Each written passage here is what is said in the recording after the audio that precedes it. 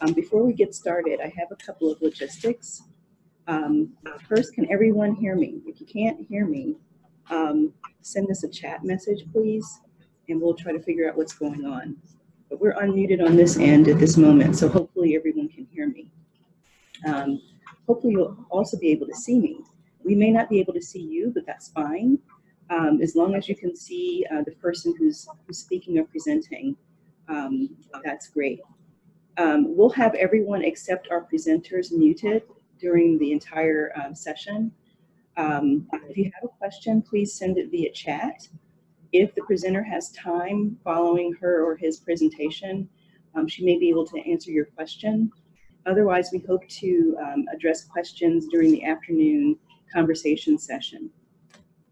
Um, if anyone has a question um, about anything, if, if, you have a problem with your um, hardware, um, try to try to troubleshoot it on your end first, and then if that's not working, um, just send us a chat and we'll see if it's a problem on our end. Okay, so we're going to go ahead and get started. Welcome to the Clare Boothe Luce program's Room for Wisdom convening. Um, for 30 years, the Clare Boothe Luce program has sought to encourage women to enter, study, graduate, and teach in science, mathematics, and engineering. 2019 is the 30th anniversary. To date, the program has supported more than 2,500 women at nearly 200 institutions. In recognition of the program's 30th anniversary, we highlight as what as we highlight what we see as a critical but generally underaddressed aspect of the study and teaching of science, that's ethics and STEM. Clare Boothe Luce professors are leaders and innovators, conducting groundbreaking research and educating future scientists. How are these high-achieving women balancing the potential benefit of their scientific research and discoveries against the potential, real or perceived, to do harm? How are they educating the next generation of scientists to recognize this capacity for light and shadow? In their work, um, what role, if any, do students have, um, or do students see themselves as having in the discussion of ethics and STEM? is there a responsibility on the part of higher education, um, of the higher education sector to ensure that wisdom is imparted along with scientific knowledge? If so, whose responsibility is it? What are some Clare Boothe Luce grant recipient institutions doing to ensure that both STEM students and faculty recognize the responsibility that comes with the power of their science? Who is doing work to actively counter or mitigate the impact of technologies that may have already contributed to societal inequities, for example, bias in artificial intelligence. Finally, what ways are program participants, individuals and institutions, finding, finding to communicate STEM ethics to the public? Today, the Henry Luce Foundation is hosting this small convening of ethicists and faculty representatives, as well as a number of guests um, from select Clare Boothe Luce grantee institutions. The goal will be to launch our year-long conversation on STEM ethics. After today, our conversation will continue with the Room for Wisdom blog, which will be hosted on the Foundation's website, and which will take a deeper, uh, which will take deeper focused dives into issues of STEM, of ethics in STEM, again drawing on the collective wisdom of the Clare Boothe Luce program community. We will invite guest bloggers to submit posts that address one or more of the questions that I just shared, or topics generated by the convening, or other issues that they've identified. At the end of the year, the Foundation will compile select blog posts into the Room for Wisdom book. Um, now I'd like to just uh, have everyone do their introductions. I will need to share Michael Gilligan, um, President of the Luce Foundation's regrets his flight, unfortunately, was canceled last night, the flight that he was to take back to New York City. Um, so he won't be able to join us for the convening today. He does share his, regret, his regrets. Um, I'd like to ask our presenters to introduce themselves um, in the order of the agenda. So I'm not sure if our um, presenter, okay, great. So that, so Maggie Little, I hope that you can hear me. Could you please? I can. Yes, Wonderful. can everyone hear me? Yes, we can. Hi, everyone. It's so wonderful to join everybody this morning on such an important and inspiring topic. My name is Maggie Little. I'm at Georgetown University. I'm a professor of philosophy here, but I'm also founder and director of something called Ethics Lab, which joins ethicists trained in deep theory together with design thinkers to innovate on how we teach and ethics into um, the curriculum, including STEM. And amongst our interests in particular, uh, we teach flagship classes, and we also have a program of uh, uh, developing creative ways to bring workshops and, and learning experiences into uh, non-ethics classes. And just two months ago, we're awarded a grant from the Mozilla Foundation um, to join a national working group on this topic and also uh, to fund our work uh, to use our methods to infuse ethics across Georgetown's uh, computer science curriculum. So inside of courses across the arc of the course and across the arc of the major. So I'll be excited to share that with you today. Wonderful. Thank you, Maggie. John? John Lubker? Yeah, mine. Okay, wonderful. You hear me? Yes. Okay, sorry. Morning, everyone. My name is John Lubker. I'm the Associate Dean for Academic Affairs at the University of Notre Dame. I am also responsible for our leadership programming and I for graduate Today I'll be talking about uh, our flagship ethics and leadership program for graduate students called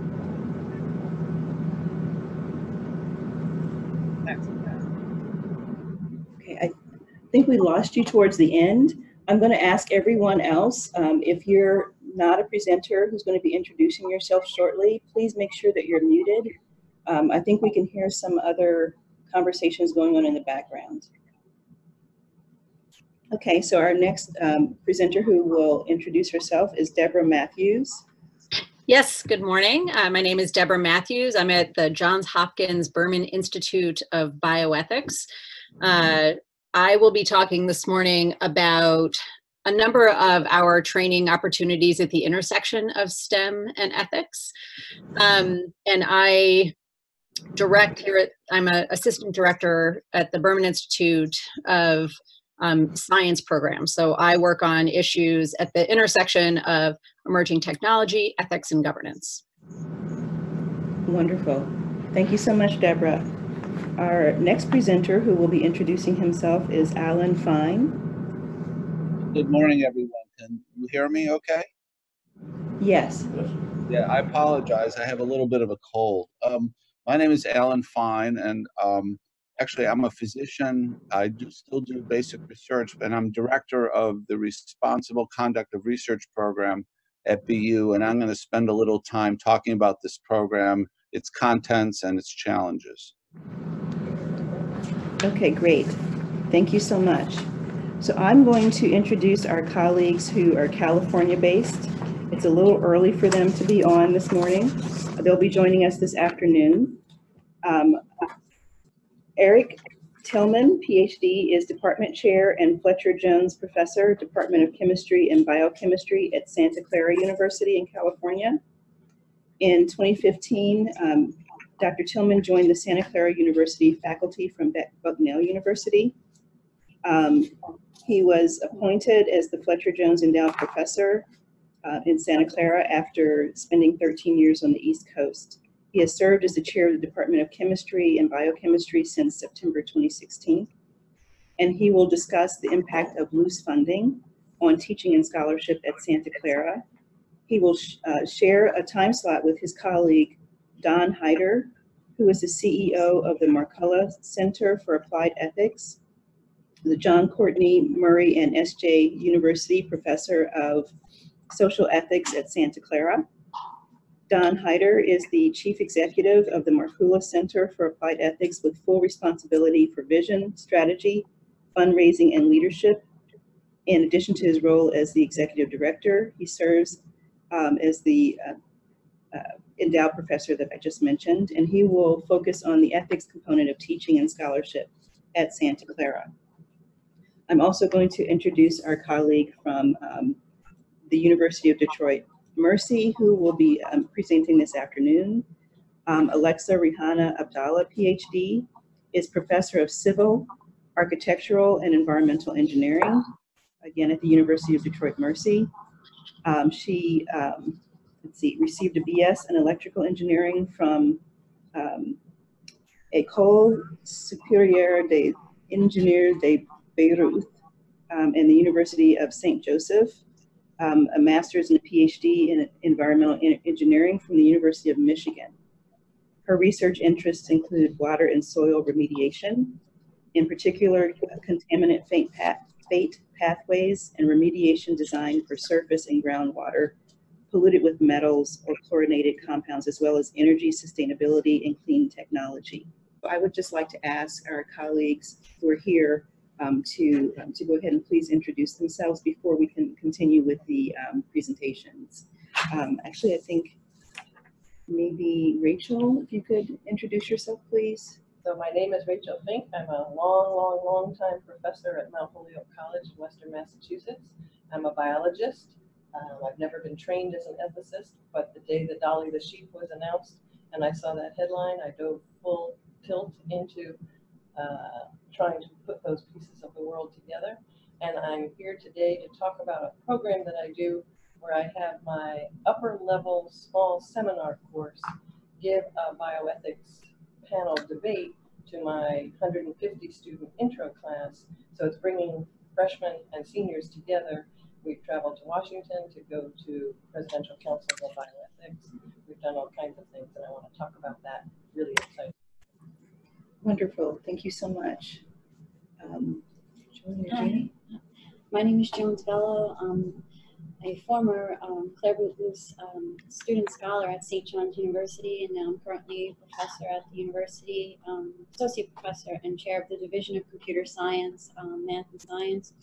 And I'm here to uh, talk about um, how we incorporate the ethics component into the computer science uh, freshman level courses with a service learning project that also deals with um, cybersecurity issues and cyberbullying um, as well in terms of in terms of that and how we have courses at our programs that are geared towards um, ethical computing. So students take specific courses um, that are cyber law and ethics and a couple other things as well. We had a camp that was funded last year um, through the students at the camp. A major component was about ethics in computer science, and um, I'm here to talk about that. So you'll hear more about that from me later on. Wonderful. Uh, I'm Gina Florio, Associate Professor of Chemistry and Physics, also at St. John's University. Um, and I am going to tell you about some individual kinds of things that, um, that, that I'm doing in my course-based undergraduate research experience um, with second-year undergraduate students um, around um, responsible conduct of research. And um, my other hat that I wear at St. John's is uh, institutional effectiveness assessment um, and and strategic planning. Uh, so I'm going to talk a little bit about some of the more institutional, d- divisional, departmental, and institutional change um, that we're hoping to see. We're, it seems like we've got you know some good um, building blocks, and we need to do some institutional transformation kind of work. Um, we shared a copy of these bios um, with everyone via Zoom. So you should have access to that document as well as the program agenda. If you don't have a copy of the final agenda, access those via Zoom. Let us know if you don't have those, if you if you're not able to access them, and we can make sure that you get them, not during the meeting, after after the meeting. Also, uh, we have been joined by our brand new Clare Boothe Luce program assistant. Some of you um, have already received chat messages from her. Um, Sarah, if you want to take just a, um, a moment to introduce yourself. Sure. Hi, uh, my name is Sarah DiMartazzi. I am the new program assistant here at the Clare Boothe Luce uh, program. I am three days old in the organization, and so this is my, my crash course in uh, technology. If you have a question, feel free to reach out to me. I will be monitoring the chat throughout uh, the presentation today. Great, thank you, Sarah. And we're also joined here um, in, uh, in our conference room by a couple of our Luce Foundation colleagues. I don't know if they want to introduce themselves, just say hello. Sure. Uh, hello, my name is uh, Ray DiPasquale. I'm the IT director of the foundation. My name is Iris Shi. I'm the communications manager here at the foundation, and I'm hoping to pick up a few tidbits from your presentations that we can share with our, our followers and uh, all of our Clare Boothe alumni. Great, thank you so much. All right, wonderful. We actually seem to be a little bit ahead of schedule. Um, So that might actually be good for questions in terms of the question um, standpoint. So uh, Maggie, if you're ready, I think I'll go ahead and ask you to um, go ahead and get started, please. Wonderful. Um, so I can begin by saying a bit about um, our ethics lab and at Georgetown about the importance of having ethics training in STEM, especially uh, with the digital revolution that's changing everything about our society, our economy, how we communicate with each other, and our political uh, institutions. So, uh, like many others, we're convinced that the digital revolution brings extraordinary promise.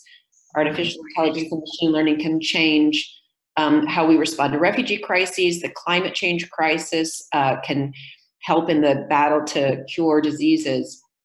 But the digital revolution and engineering also bring uh, real potential for uh, uh, peril, often through unintended consequences, where people who are, um, in one sense, understandably excited about potential technology, uh, sometimes are running so fast that they outstrip the sort of normative frameworks that society would want to develop around the use of the technology, but also sort of professional standards for what makes somebody um, sort of the responsible use of, of, of, that technology and, and those who build it.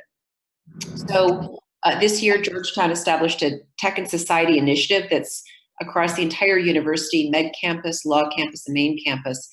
And as part of that, our, our group ethics lab, which I'll be speaking about more uh, in detail, has really taken um, seriously the need to integrate ethics into everyone on the campus, every learner from undergrad to master's to PhD, who is going to be out leading in the digital space, uh, especially uh, and where we're starting is with our computer science majors.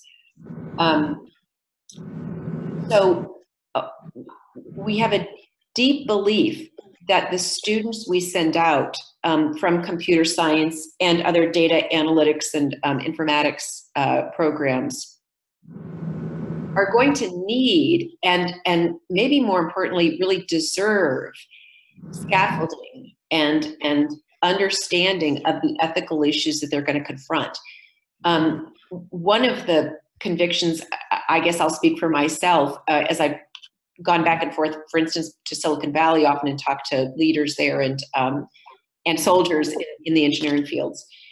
Uh, the amount of what what we as philosophers would call moral distress in the industry is really high.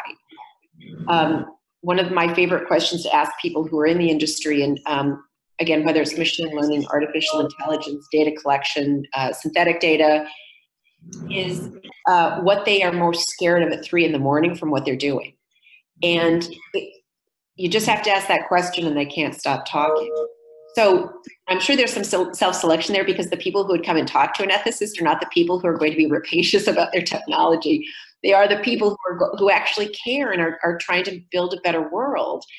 But they're doing it often with uh, without language, concepts, and frameworks to even inform the, the lens through which they're seeing their technology. So our goal is really to um, integrate ethics into uh, the study of STEM and doing it in a way that's integrated in, a, in as native a way as we can to the syllabus learning goals, um, adventures of the classes that they find themselves in. So while we do offer flagship classes in, um, at, at, in Ethics Lab in data ethics, um, including lots of issues around algorithmic bias. Um, also, social media and divided democracy. Uh,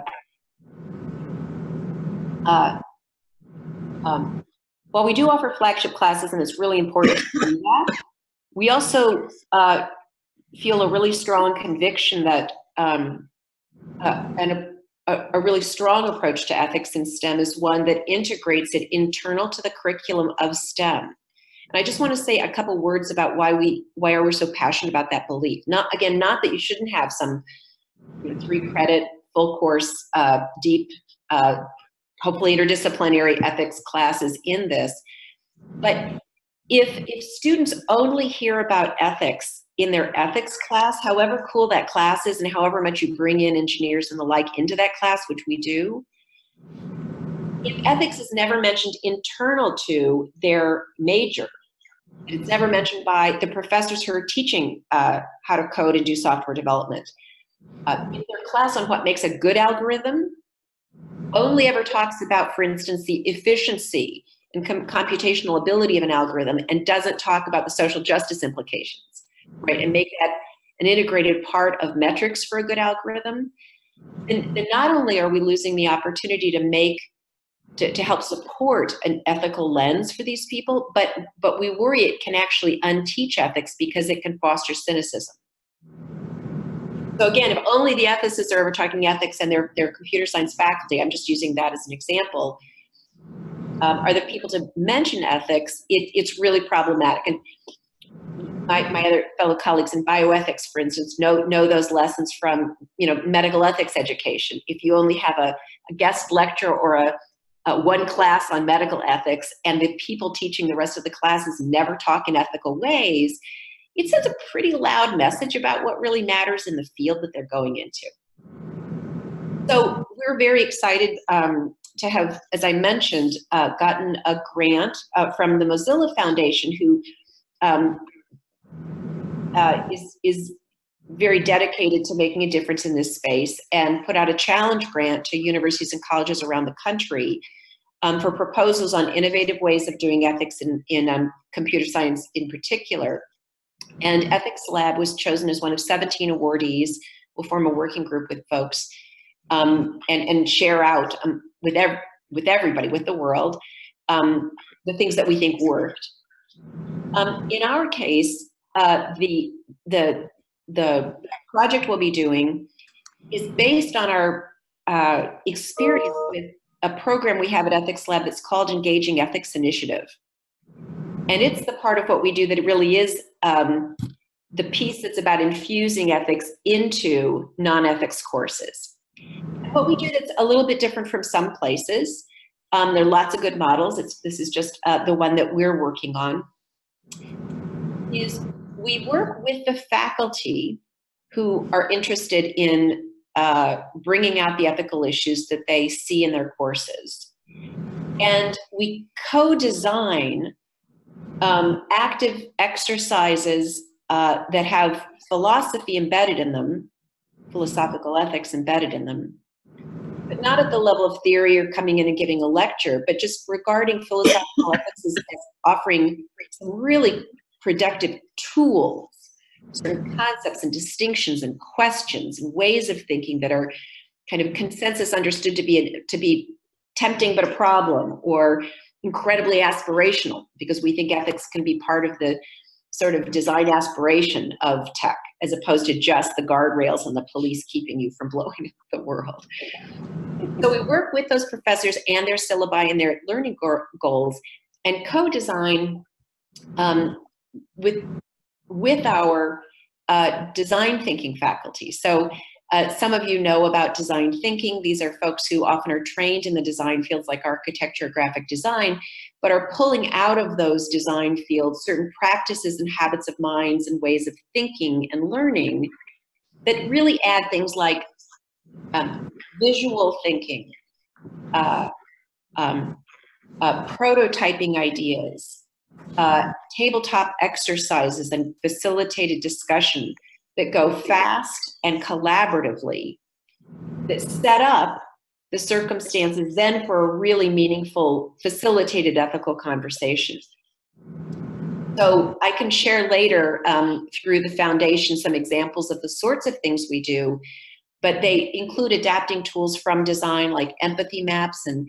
journey mapping, and we have an exercise called mapping the moral landscape. And I really do want you to imagine like tables with butcher block, uh, not butcher block, but but butcher paper uh, spread out over that. Lots of post-it notes, fast time boxed exercises that do not start with theory, but start with putting you right inside a um, a scenario and asking you to start thinking about quickly um, what what you're worried about, what you think, who are the stakeholders, and then using that as a way of sort of activating all of our muscles, our empathy muscles, as well as our analytic muscles.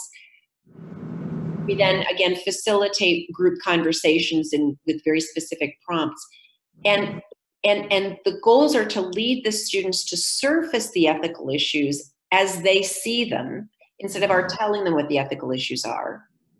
But then having surfaced them in that again sort of a more authentic native way, we, because we have the philosopher and the designer and the computer science person right there, and we've all planned this out ahead of time, we can then deepen the conversation by giving some of those tools, both from the, philos- the philosopher and the computer scientists who can talk um, about again the one example of you know what makes a good algorithm and how we have metrics for um, uh, uh, uh, predictably biased data and ways in which um, data analytics can then amplify the bias that's inherent in the data and how we can do better. And there are good practices out there. So the goal of all of it is minimally to let students add to their lens uh, a sense when they go and, and see the, the world they're, they're trying to build to be able to spot ethical issues and not be neutral and just think because we're good people, everything we do must be okay, which is a very um, not infrequent piece of the culture in, in certain tech industries. Um, but also to see ethics as aspirational, that it's wonderful to build a better world, and ethics can help you do that even better by naming values that you're trying to achieve, by getting creative about you know, progressive pathways. Ethics can help untangle problems and not, again, just tell you what not to do, though it's also important to have that understanding as well. So, um, we're very excited. Uh, we're working with the computer science uh, department here at Georgetown, and with the Mozilla grant, we'll be, um, as I mentioned, really working to do these infusions very intentionally for the entirety of the computer science major. This is the last thing I'll say that going back to what I was saying about we really want to emphasize the importance of, of integration. Um, uh, as many people, you know, uh, will also be trying to do. And so here what we're trying to do is, again, have touchstones that are intentionally ethical across the semester in three key moments of currently four classes that are key to the major. So an introductory one, a middle level one, and a capstone one.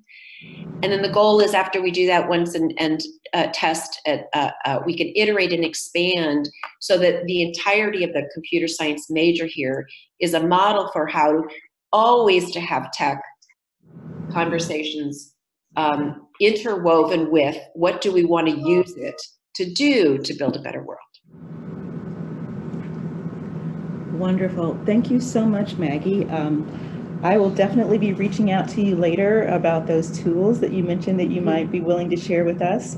Um, we really appreciate your particip participation today. Um, I recognize that you aren't going to be able to stay with us for the rest of the um, of the convening, but you're welcome to stay for as long as you can. And um, I certainly enjoyed hearing more about the work that you do at uh, Georgetown and with the Ethics Lab. And I'm certain that everyone else uh, who's participating uh, enjoyed it as well. So thank you very much.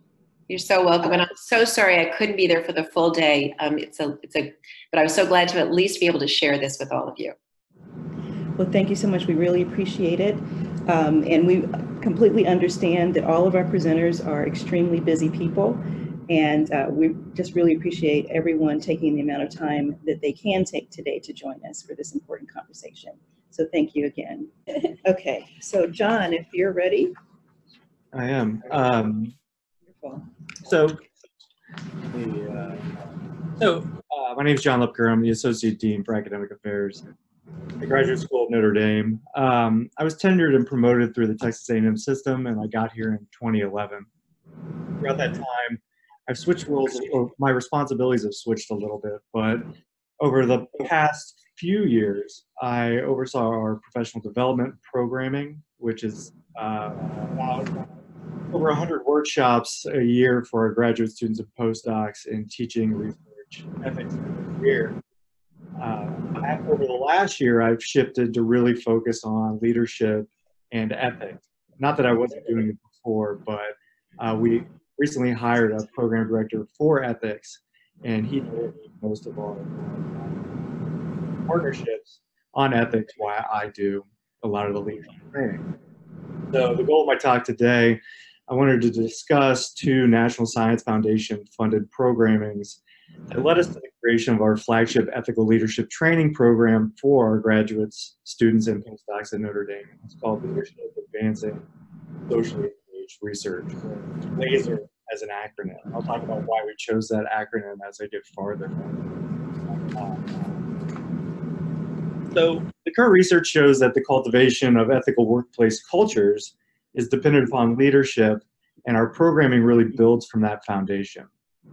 Uh, and despite the importance that leadership is in fostering ethical cultures, most of our ethics training in STEM typically conveys that content through passive learning methods rather than really trying to attempt to create ethical leaders through experiential learning and feedback. That takes more time and it takes more effort. Um, and also, it tends to be through smaller group learning. And a lot of times, uh, we have a compliance focus about our ethics training, especially through responsible conduct of research training that we're.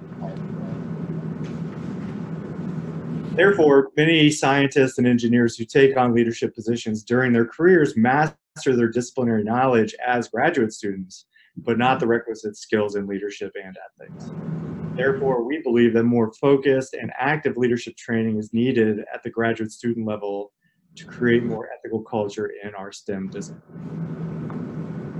And we here at Notre Dame strongly believe that ethical leadership training is both important and effective for PhD students. One, because they have greater independence and decision making responsibilities afforded to them compared to undergraduates. Second, we think the outcomes of the decisions made have lower stakes uh, than when they move on to the next stage of their career, whether it's a postdoc or an assistant professor or in industry. And that learning from failure is okay, and we can create an environment for PhD students to take risks, but then also be supported by their advisors. And then thirdly, students have access to multiple mentors in multiple roles here um, in the academy as PhD students. So provide them with those mentors and those experiences.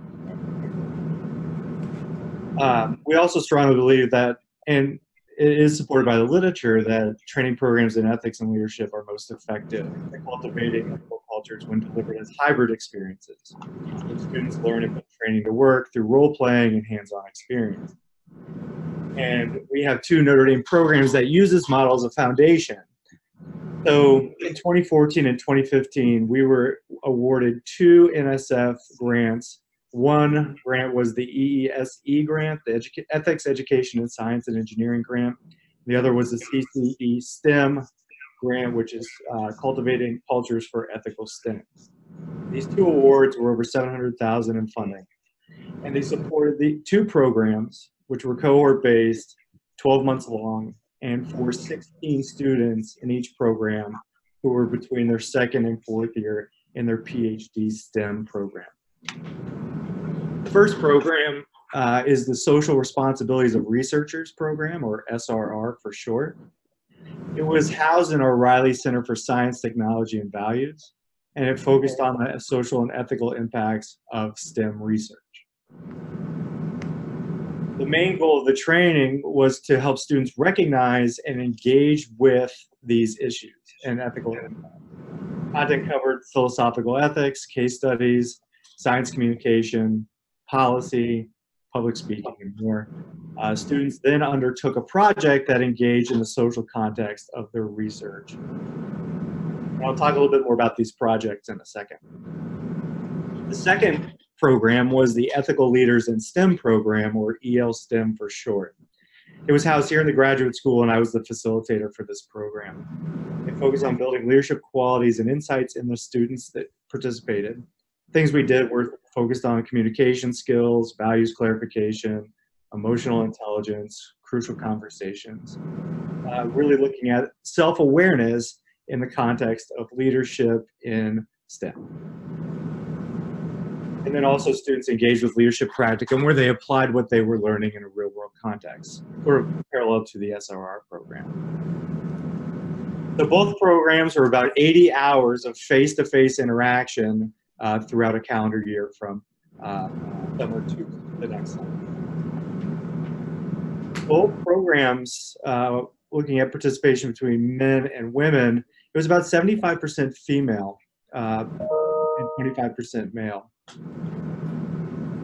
One thing I do want to focus on is the project-based learning. So there was 102 different projects uh, proposed and then participated in by uh, these students. And that's really where they applied what they were learning in real time throughout the program. Examples of this were female or diversity empowerment in STEM. So there was a STEM mentorship program established by two students. And currently they have 120 undergraduate students in female students in STEM being mentored by over 60 female graduate students in STEM disciplines as well. Uh, another project was distilling academic topics for public enrichment. Uh, there's a student who look, who is giving talks at the public library about how to navigate social media uh, with all the misinformation that's out there. Uh, we have also a science policy initiative and a common good initiative that students were involved in. But it's a, it's a project that's generated by the student and then supported by the, by the participation in the program and the other students in the program. Uh, both programs emphasize ethics, but they do in very different ways. Uh, the goal is applying what they're learning in those particular contexts uh, that they find themselves in and using learning to make an impact. SRR took sort of the explicit and fairly standard philosophical ethics pedagogy approach in emphasizing the ethical stakes of research for stakeholders. While EL STEM takes a more implicit approach that includes ethics in the course of leadership training and decision making focused on self understanding and uh, throughout the experience, students were look, they were hoping to improve on four broad sets of skills leadership and decision making, values and ethics, communication skills, and the knowledge of relevant non-science social content. The goal of these two programs were to assess their effectiveness, but then combine them uh, at the end of the grant period, which was three years. So we had three cohorts of each program into a, into a single model that could be sustained at the university. So we assessed them pre-test, so before they started the program, at the conclusion of the program, and then a year out from their conclusion of the program, we looked at moral judgment, self-efficacy, integrity and character, and then six shared program goals of one being context, two being feedback, three being engagement, four being adaptation, five being self-awareness, and six being model, modeling and mentoring. And through our assessment of the three cohorts at each of the three time periods, there was significant positive impact on all six shared program goals, and then a positive impact on participants' moral judgment, self-efficacy, and integrity. The other benefits we found through uh, feedback sessions and qualitative qualitative assessment uh, one was just being surrounded by a diverse community of peers. So being able to have a cross-disciplinary discussion of ethical issues and also just to support each other um, in way, or also to find support from others in ways they couldn't find in their lab. Uh, they appreciated being able to run workshops on their own, giving them some self-confidence standing in front of a classroom. Also, they found growth and self-awareness uh, to be important ethical discernment, and also career discernment, trying to trying to see how what they're learning really gelled with what they thought their career aspirations were going to be. And then that experiential learning was important as well. So we took what we found and we put it into one program which we called laser like i mentioned before it's a unique co-curricular program that focuses on leadership and social engagement for graduate students and now it's open to all disciplines uh, so what we're seeing is more diversity in, in the group and i think we all are benefiting from that leadership is all about context and the context we use in this program is being a socially engaged researcher and the reason we like to call, the reason we decided on laser was that really we're trying to assist these students finding both direction and coherence in their own work. So the first four months we focus on self-awareness, and we could consider that some level of leadership development. The next four months we focus on social engagement and social responsibilities, which then becomes the context of their leadership development in that space. And then we spend the final four months tying it all together this is no in no way a finishing school for these types of uh, experiences. This is a foundational experience where students then uh, spend a few years with us. That's why we chose third and fourth, or second, third, and fourth year students, so they could really have an impact on the community before they left. So, in summary, uh, you know, how can someone be expected to be an ethical leader without real world tangible experiences to learn from? And that's really what we're trying to give these students. PhD students spend a lot of time in, class, in the classroom and in their labs, but with little training on how to lead in these environments. So the implementation of this experiences helps bring students out of these sometimes restrictive environments and apply their knowledge in both at the academy and industry. Future leadership and ethics trainings programs should consider building upon a model like this, where students properly, where they're properly equipped to deal with leadership and ethics, not only in theory, but in practice. And finally, we need to, we need more experiences like these if we're going to do good in this world and compliance training and checking the box is not enough. And so I'm really excited to hear about other, other universities that are doing things uh, outside of sort of this check the box mentality. Um, and so, thank you. Thank you so much, John. Uh, I really appreciated hearing about your um, two NSF programs and also how you've um, now combine them into the single laser program, which is open to all disciplines. It really does sound like a fantastic foundational experience. And um, I will personally reach out to you uh, later to see if we can get some more information from you about that, that maybe we can share with the larger uh, community, if you don't mind. Sure, I, I can give you the website information and anything else that would help. Great. Thank you so much, John. All right. Um, so our next pre presenter will be Debra Mathews from Johns Hopkins. Deborah? Yes, good morning. Um, thank you again for the opportunity to speak at today's convening. I uh, am a human geneticist by training who does work in ethics, so this intersection is particularly um, near and dear to my heart.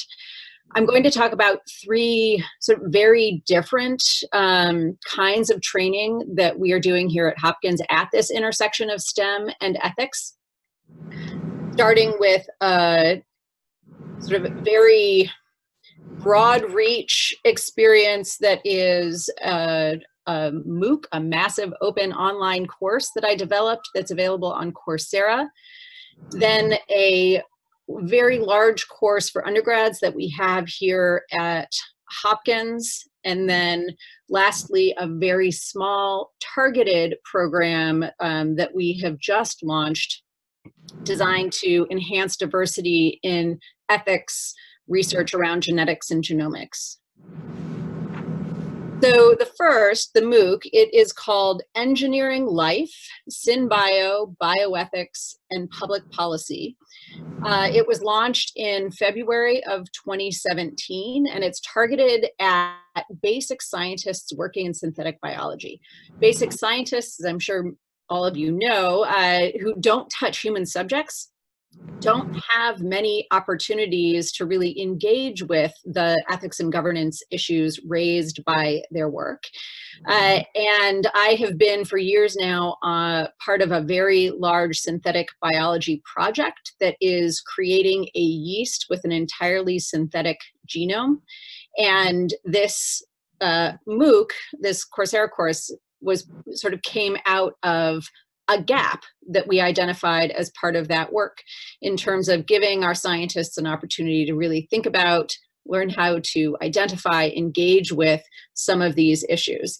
Uh, it's funded it was funded both by uh, internal hopkins education grant and as part of a lar- larger nsf grant um, that funded the synthetic biology work the it's a five week course. It's composed of readings lectures by me and uh, filmed interviews that i did with experts in the field uh, including and i'm sorry i think maggie has had to leave but leroy walters who is at georgetown um, and jane calvert and deborah scott who are both at the university of edinburgh uh, synthetic biology, of course, is a really broad area of science that merges engineering and biology, and it has lots of different applications. And so while most of my work focuses on applications of emerging technology to human health, uh, this course is much broader. Actually start with the, the emergence of recombinant DNA technology and the history of that in the 1970s um, with Asilomar um, and the Recombinant DNA Advisory Committee.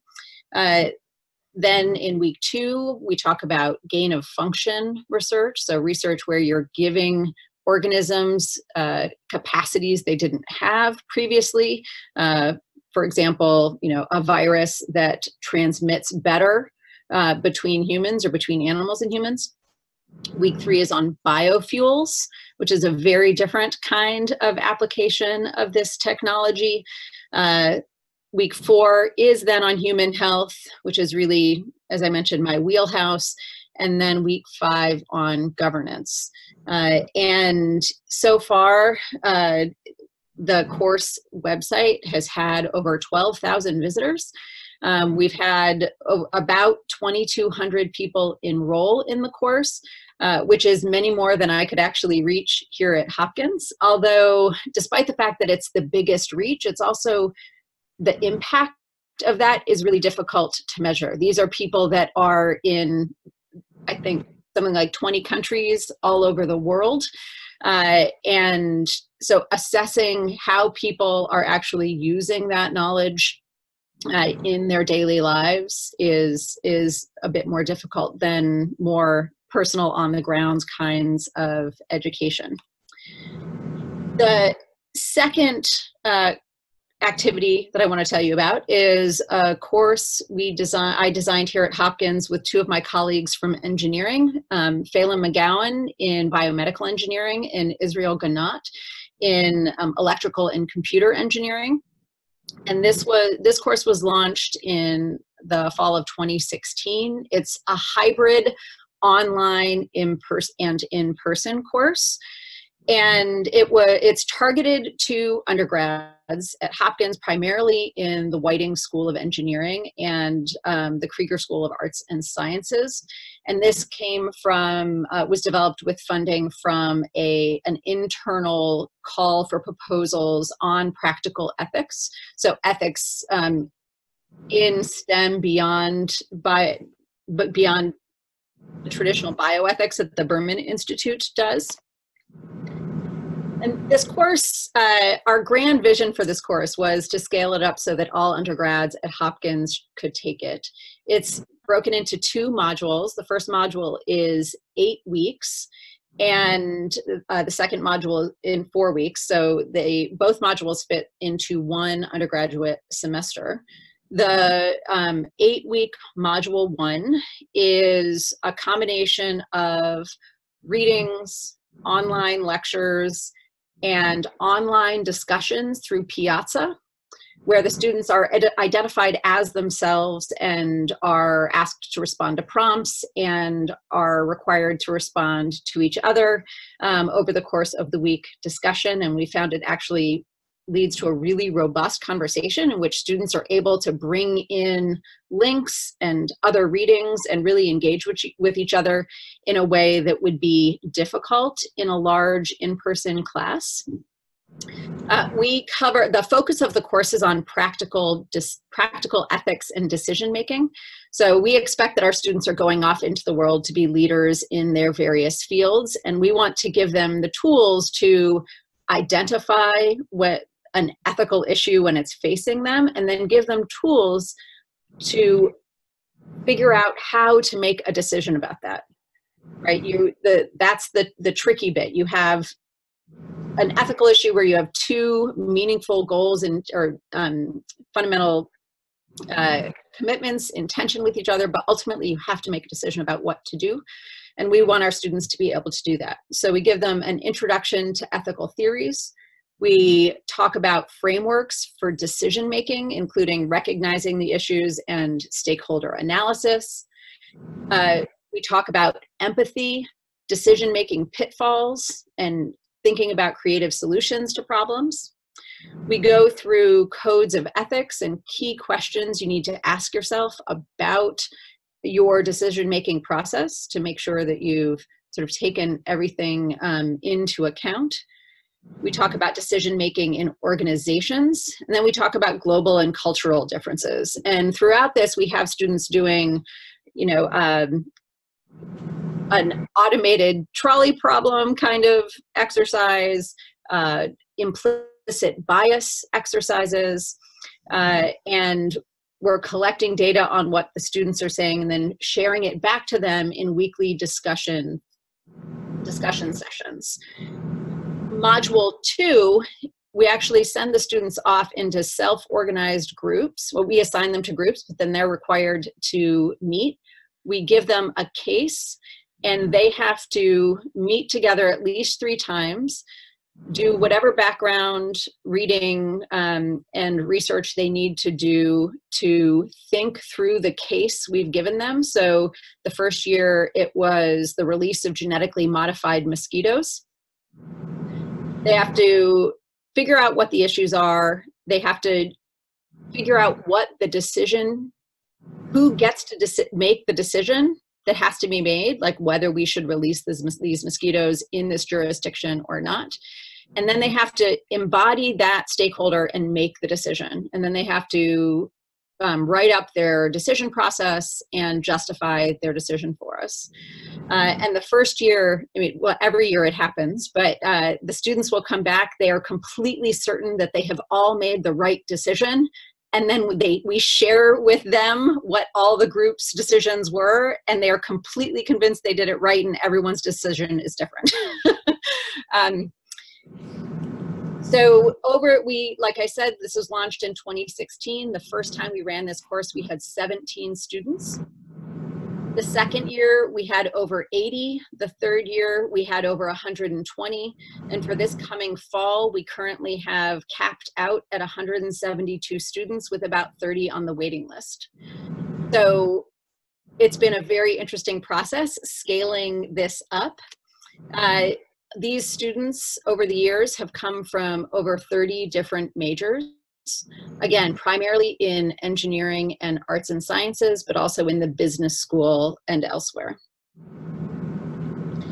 And then finally, the third uh, program that I want to talk to you about is one that we have just launched. Um, it is our Genomics and Society Mentorship Program. This was funded by a grant from the NIH, NHGRI, um, and the ELSI program, the Ethical, Legal, and Social Implications Program. And it is focused on enhancing diversity in ELSI research, again, ethical, legal, and social implications research. We launched, uh, our students showed up last week. So they have just arrived at Hopkins, our first cohort.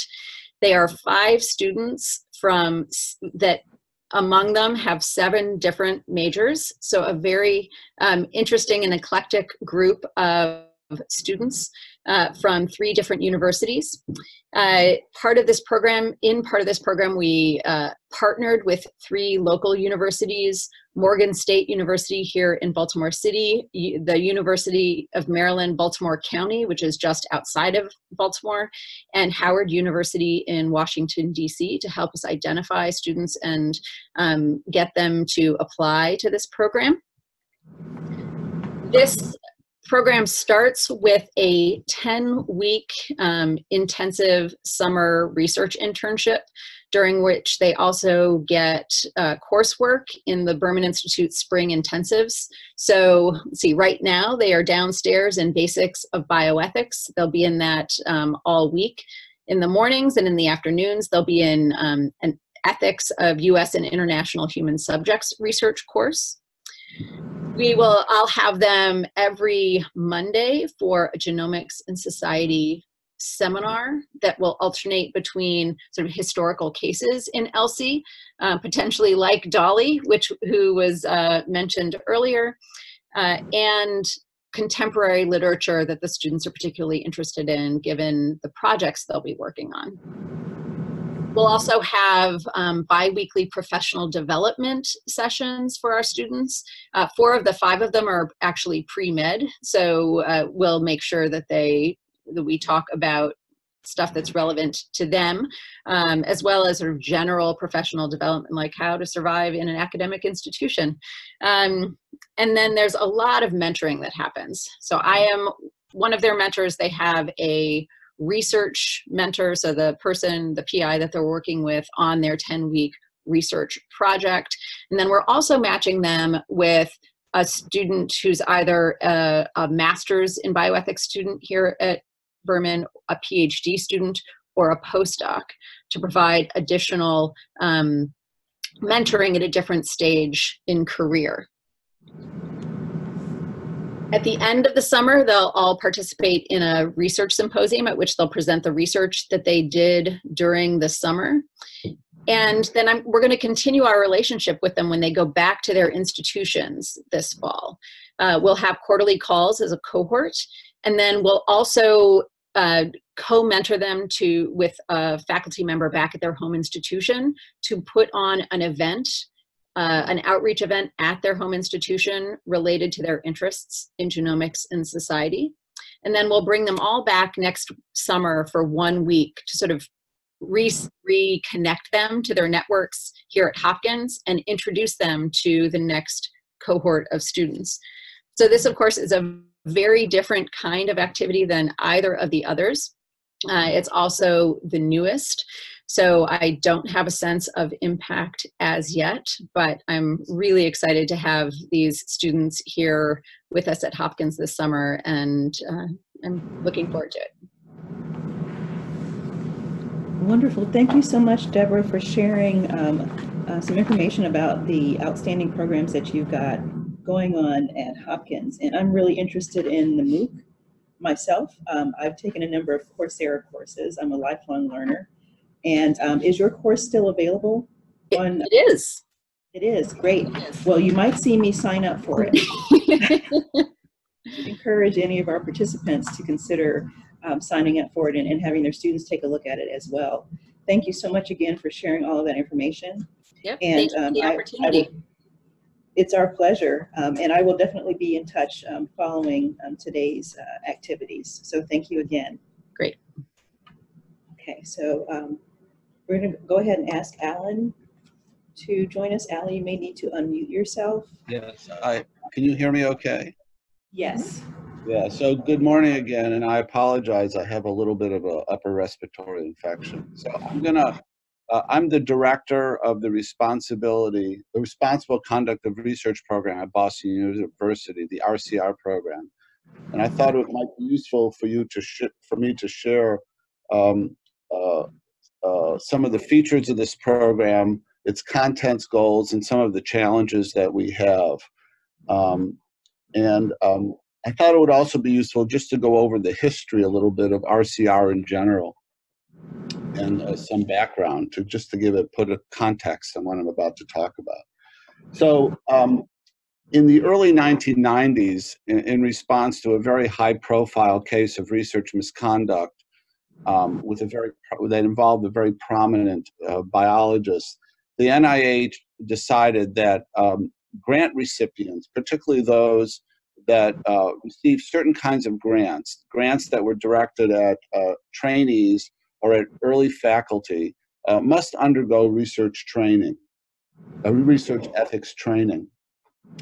And um, at that time, they, uh, there was really no data on how to do this. And uh, to be perfectly frank, there still isn't really good data on what's the most effective way of teaching research ethics.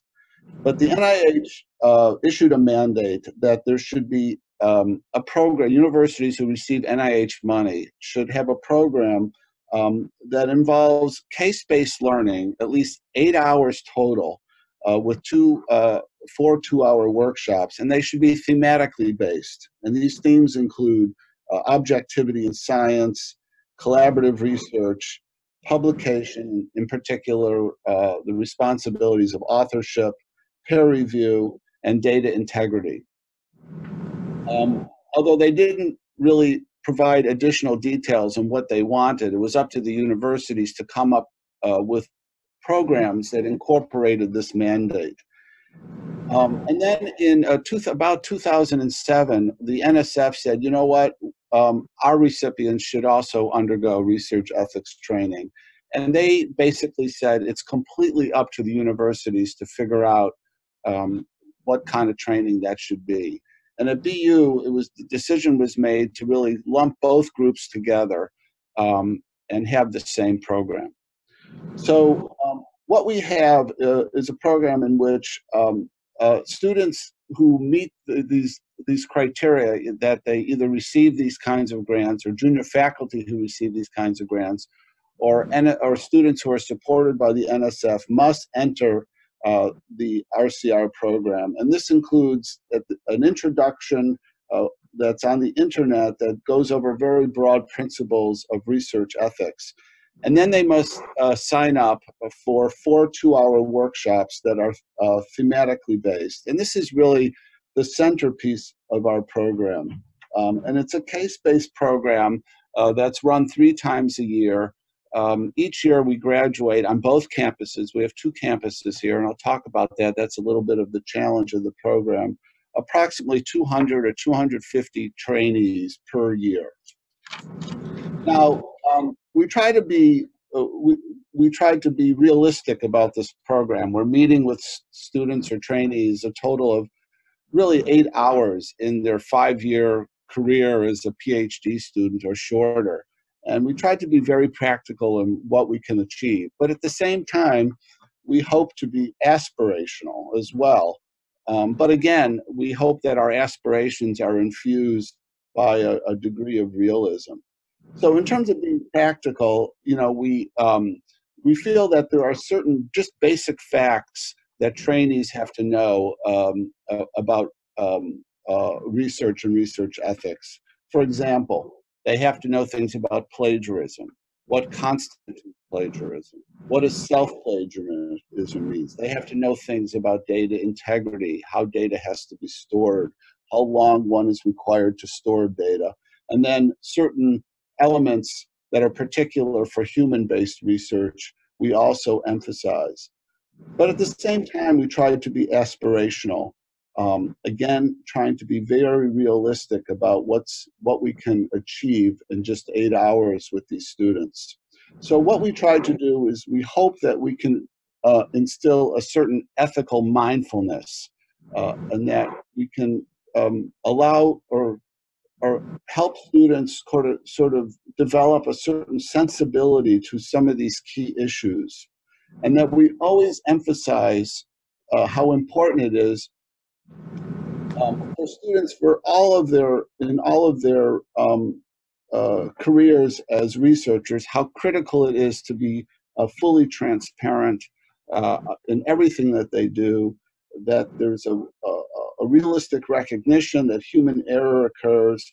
Um, how important it is for them to sort of take control of their careers, to have uh, be proactive in their uh, dealings with their mentors, uh, to have prophylactic conversations ahead of time so they understand the local cultures that they're uh, residents in, what constitutes authorship in those cultures, and that also how how important it is for them to manage two really key parts of their research and training careers. That is, when they enter a, a new research environment, there are certain very important things that they have to know, particularly with regard to data storage, uh, et cetera, et cetera, and also how to manage leaving a research environment. Um, what's going to happen to your relationship to your mentor? Uh, what's going to happen to the data? What's going to happen to the project, future publications? To be proactive and to assert control over their careers. We also emphasize to them that many things in ethics, there aren't clear cut answers, and that a lot of what one does and thinks is based on their own personal values. But at the same time, we do emphasize that each of them has a, has a, has a, their social responsibility, and then what they do matters. And we give examples where little small things that you one does in the laboratory really matters. Grants may come out of it, important papers that may lead to uh, human studies come out of it, that it's really, really important. Everything you do matters. Now, threaded through this, uh, we try to also emphasize the fact that the proper ethical conduct of research has impact on research reproducibility, which obviously is a very key issue nowadays. And the way we do that in part is by asking them to think about um, how they deal with outliers, um, uh, issues with regard to selection of data for publication, et cetera, et cetera. Now, how these, these sessions are structured, that um, they're large groups. They're about 50 to 60 students, and they're uh, they are in. Uh, there's a large group of students, but they're in small groups that are random, and uh, of about eight students, and it's comprised of heterogene with heterogeneous backgrounds, people from engineering, from the School of Management, from the School of Medicine, et cetera, et cetera. And they're given cases to discuss um, that relate to the overall theme of the workshop with uh, prompts. Um, and then uh, they have a discussion. We found we have faculty mentors there that help facilitate discussions and we underscore or we emphasize to the to the faculty mem- mentors how critical it is for them to share their own personal experiences um, that are relevant to the topic of the cases. we also have included um, real-time polling using cell phones, which is kind of fun and uh, helps facilitate discussion, and admittedly at the same time gets the students to use their cell phones for other purpose, for the appropriate purposes. Um, but we, you know, we have uh, significant challenges. One is, is that this is clearly a have to, um, that the students must do. Uh, there are no grades, so there isn't really much of a stick. It's a very heterogeneous population, and um, we have this ongoing uh, tension between uh, uh, this program being a, a, a compliance issue, uh, and then at the same time, we want to be very effective from a very teaching standpoint. So we are always mindful and concerned about this being a checkbox. Um, the way we've responded to this in part is to make the cases very relevant and practical, but at the same time infused by some of these aspirational goals. Uh, we have conducted surveys and we uh, serve food. Um, the other thing is that uh, in terms of this tension, I think in contrast to a lot of RCR programs around the country, it's run out of the uh, grad, the provost office or, for graduate affairs as opposed to the compliance office. And I think that really has helped make sure that in part this doesn't become just a checkbox. The other thing I, uh, I, I, thought I would do is that I would just broadly just summarize a couple of the cases just to give you a flavor of of um, uh, of what uh, of the nature of the cases and what we hope the students to get out of them. So one, so there's here's a case. Uh, one case is of a, a young woman who uh, has been working very hard at figuring out uh, a very difficult technique uh, that she needs to for uh, her her thesis, and she's successful, and she posts she posts the, the technique online. So there's a practical element here. It's uh, it's very important for students to understand the very complex implications. We don't want them to become copyright lawyers, but want them to understand that there are implications of posting things online um, and that uh, we basically we want to instill a mindfulness about this that they need to think beforehand before doing something like this um, uh, but at the same time we understand that we're not there to teach them copyright law another case for example is uh, about a young uh, a young attending who has to review a paper uh, that basically scoops um, or is related directly to uh, the projects of a student that's in their laboratory. And so this relates to um, conflict of interest and objectivity and the what uh, and uh, and get students to think about what that really means. That there certainly are tangible, clear-cut uh, conflicts of interest, financial and others, uh, that we underscore. But at the, the same time, there are what what is an objective conflict of interest and what that really means?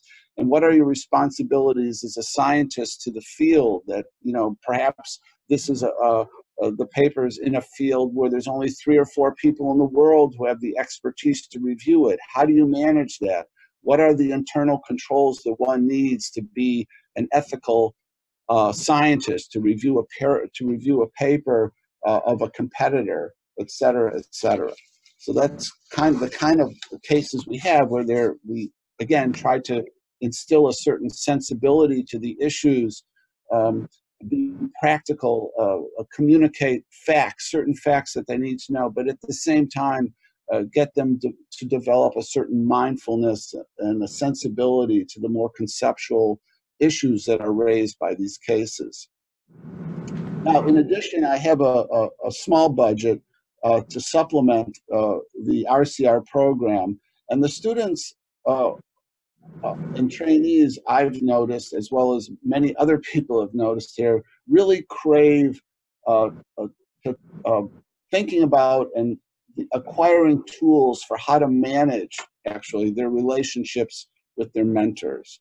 In particular, um, they are very concerned about um, how to have difficult conversations with their mentors, uh, how to manage the relationships if there are things about those relationships that they are experiencing is unfair.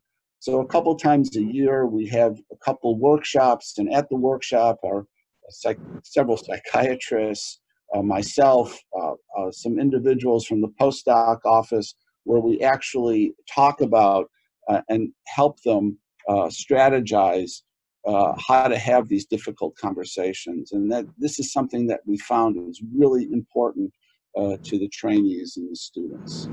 So again, so the program has very practical goals, um, but at the same time, we um, try to be aspirational, uh, even though we are only uh, with them eight hours during their entire uh, career as researchers at Boston University. I think that's all I have. Okay, wonderful. Thank you so much, Alan. Um, you reminded us of how important it is for researchers to be trained uh, with the responsible conduct, conduct of research and how basic and foundational that aspect of their training is.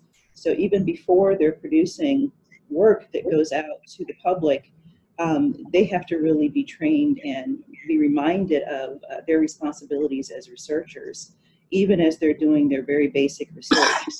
And uh, some of these issues you mentioned, um, the NSF or NIH actually flagged this as a concern back in the 1990s. So for uh, well over 25 years, um, this work has, uh, uh, these programs have been uh, existing on campuses, and I would say that they're needed um, as much today, if not more, um, as we train and send researchers out into the field. So thank you for sharing some information about the programs uh, that you're working with at, at BU. Uh, so we actually um, have about five minutes before our scheduled break. I'm going to open um, up for questions, just maybe one, maybe two questions. If anyone um, has a question before we go to break, um, we'll give you a minute or so to type up your question and send it in by chat. Um, if we don't get any questions, we'll just break a little bit early and we'll plan to reconvene on schedule at 11:30. So we'll give you a minute to type up a question that you might have and send that over to us. Um, and if we don't get any questions, we're gonna go ahead and break. So counting down. You have about 30 seconds to get your question in. And of course, if you, if you're not able to get your question into us now, you'll have another opportunity later this afternoon to ask your questions.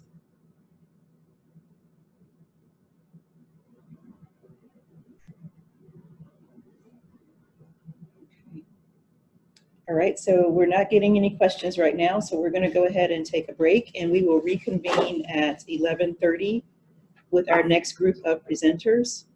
Um, Thank you for joining us this morning. If you're not able to join us um, for the rest of this morning's presentations, we appreciate your participation, and um, we will sign back on at 11:30. Thank you. We want to get started with our second round of uh, presentations, beginning with our colleagues at Santa Clara University, Eric Tillman and Don Heider. Please go ahead. Okay, hello, I'm Eric Tillman. Um, so I'll give a little bit of a background at where STEM is at Santa Clara and then, and then go more specifically into how Clare Boothe um, fits into that. So Santa Clara, we're at, we're at a pretty unique time in terms of our teaching and research within the STEM disciplines.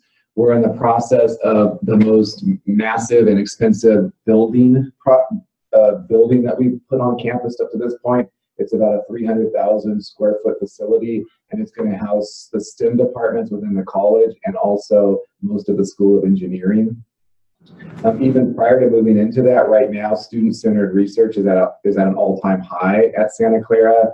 We have, for instance, just within the college, about $6 million of active grants um, current right now within um, the STEM departments of the college, and that's not even counting the School of Engineering. And so we're really outperforming, I think, um, a lot of our space, and so we're really excited to get these new facilities going. Um, at Santa Clara, we currently have two Clare Boothe Luce professors. We have Grace Stokes in chemistry and biochemistry, and we have Nikki uh, Mushkat in math and computer science. Uh, since 1989, we've had over 10 Clare Boothe Luce professors. In addition to these faculty professorships, we also award about 10 to 15 students um, undergraduate research scholar awards each year, which which gives them $12,000 to devote towards um, towards their research, both paying them a stipend for summer research and also allowing them to travel and to uh, buy supplies for their research project. So the professorships at Santa Clara University, the way that these have worked is that when we hire a faculty member in the STEM or engineering departments, departments that would be eligible, the candidate is reviewed as a possible Clare Boothe Luce professor. And if the candidate meets the requirements, we then forward the materials to the Clare Boothe Luce program for approval. And an offer is made to the candidate, and the Clare Boothe Luce professorship is included in that offer. And we think that this is a, a very powerful tool for Santa Clara to, to um, recruit and to successfully hire the strongest women candidates in, the, in science and engineering. Um, just as an example, in chemistry and biochemistry, 40% of the tenure track faculty are women. And two of these currently in the department are either are Clare Boothe Luce professors or were recent Clare Boothe Luce professors. And so that really has helped us um, attract some, some top females into, into the chemistry and biochemistry department. Uh, what math and, and, computer science have recently done on a hire was that they were explicit in their advertisements as they wanted a faculty member who was who was committed to supporting um, and mentoring women undergraduates in math and computer science. And this led to the hiring of their current Clare Luce professor, um, who I mentioned earlier, Nikki Mushkat. But reaching out to the two current Clare Luce professors, Grace Stokes and Nikki Mushkat, um, both have said that having the Clare Luce professorship as part of their offer was a major factor in them deciding to ultimately come to Santa Clara and start their careers here. Um, in addition to the expected benefits of having these these research funds, which is which have allowed them really to hit the ground running as teacher scholars, they both they both um, separately have said how how childcare, the ability to pay for childcare, has been such a huge asset to them, both both from day to day in their in their job at Santa Clara, but also when they visit conferences and they attend conferences. Both of them have small children, and that's been that's been huge for them. And I would say in the Bay Area, with the high cost of living and the difficulty of getting getting faculty um, into housing uh, near the university, having that having those funds that can pay for childcare has been has been huge for them. Um, from the undergraduate research scholars, the way that we run that program here is a competitive program, and students propose a research project that they that they develop in consultation with the faculty member they would be working for that summer, and they then submit this submit this proposal, and it's looked at by a committee of, of faculty and administrators. And if chosen, the, the student will receive that Clare Boothe Luce award, and it allows them to stay full time for that summer. So it really kicks in that first summer and it pays them $20 an hour to do research over the summer, which helps provide funds for them to, to find housing. Um, in addition to the to the funds that they can pay for stipends, it also is used for conference travel. It's used for research supplies, and so it helps, of course, the faculty member and the entire lab um, from having a from having a student that has a Clare Boothe Luce award. The students join a much larger cohort of students that stay over the summer. So for instance, in, in a lot of science departments, we might have about 35 students that are staying over the summer doing full-time research in different faculty members' labs. And one of the most difficult things is to, to find funds for these students. And so having Clare Boothe Luce uh, award like these available for undergraduates allows us to maximize the number of students we're able to take into our research labs and also really elevate the few that get those awards because it, because of the extra perks that comes that comes with the Clare Boothe Luce Award. Um, and, and, kind of as a last kind of summary here, though, our, our current and former Clare Boothe Luce professors, they're um, they're strong leaders on campus, not just within the STEM community, but also just just more broadly on campus. Um, Amelia Fuller, who's a recent Clare Boothe Luce awardee professor. Um, she's going to currently, this Friday, she's going to be speaking to the Board of Trustees and represent the entire College of Arts and Science um, as, as, as a teaching scholar of the highest order and really, really allow them to hear what type of teaching and research is being done in the sciences here. Um, Grace Stokes, our current Clare Boothe Luce professor, she's taken the lead on a program that that gives first generation students. There's a cohort of first generation students each year that comes into Santa Clara. And she's she's taken the lead in helping place them into appropriate chemistry courses, chemist, the general chemistry courses, and also helping keeping them as a cohort so that they have camaraderie, that they're making sure that support systems are in place to, to ensure their success of getting through these, these introductory chemistry courses, which is going to allow them then to go on and continue into, into the STEM fields. Um, the STEM departments within the College of Arts and Sciences are, are the physics, math and computer science, chemistry, biochemistry, neuroscience, public health, environmental studies, and biology. And we're going to take all of those departments, and those are the ones that are going to be co-located in the new facility for the School of Engineering. And those are also uh, those are also very popular majors for many students. So that's kind of the end of, of my summary of how the program works here. And uh, I'm Don Heider. I'm the executive director of the Markkula Center here. I'm just going to talk for a minute about uh, ethics in STEM here at uh, Santa Clara. Um, Center and uh, the Computer Science Department, we're collaborating right now on a one-year Mozilla Award to integrate ethics into undergraduate computer science curriculum. And that work involves integrating ethics related activities like case studies, projects into classes ranging from algorithms, data science, machine learning, cybersecurity, and more. The goal is to help computer science students exercise ethical, thinking muscles as an independent plane of activity alongside their teaching, uh, their technical learning. Um, and we've been involved with the engineering uh, school here for almost 30 years and also um, helping with ethics training. They've had a standalone ethics course in engineering for quite a number of years, and all engineering students, as part of their pro- uh, senior project, have to have a large ethics component, and they give an award for the best uh, consideration of ethics in one of those projects. Um, and we'll also we also offer a engineering ethics component on our website that's been downloaded and used by dozens of other universities around the world. And as part of this Mozilla grant we're working on with computer science, we'll take all that material we develop and also make it available on our website for other universities to use. Um, we're, we also have 75 uh, faculty scholars who are involved with the Markkula Center. We're the largest and most comprehensive applied ethics center in the world. And uh, we really um, enjoy our partnership with faculty across disciplines, including the STEM disciplines here, um, to keep ethics at the forefront um, of uh, thinking and teaching. Okay, wonderful. Um, I wonder if you could share with us a little bit, perhaps if you um, have a moment, about how um, the significant growth of STEM, um, what impact, if any, if that's having on how Santa Clara addresses ethics. Um, given that you have such a large center, are you able to scale up the ethics programming along with um, the increase in, in STEM at the institution? Or is that, I understand that this is fairly new in terms of the massive awards and grants that you've received, but um, is that in the planning stages? Could you share a little bit more about, about that?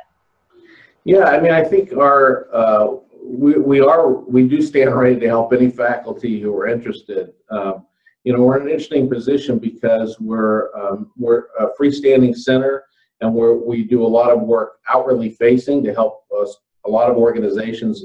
We're doing a lot of training at tech in tech firms here in the valley, and uh, and we do ethics across nine different areas: bioethics and tech ethics and uh, religious ethics. So so we're very broad ranging, but we have a long history of partnering with faculty here at Santa Clara to help them integrate ethics components into their courses.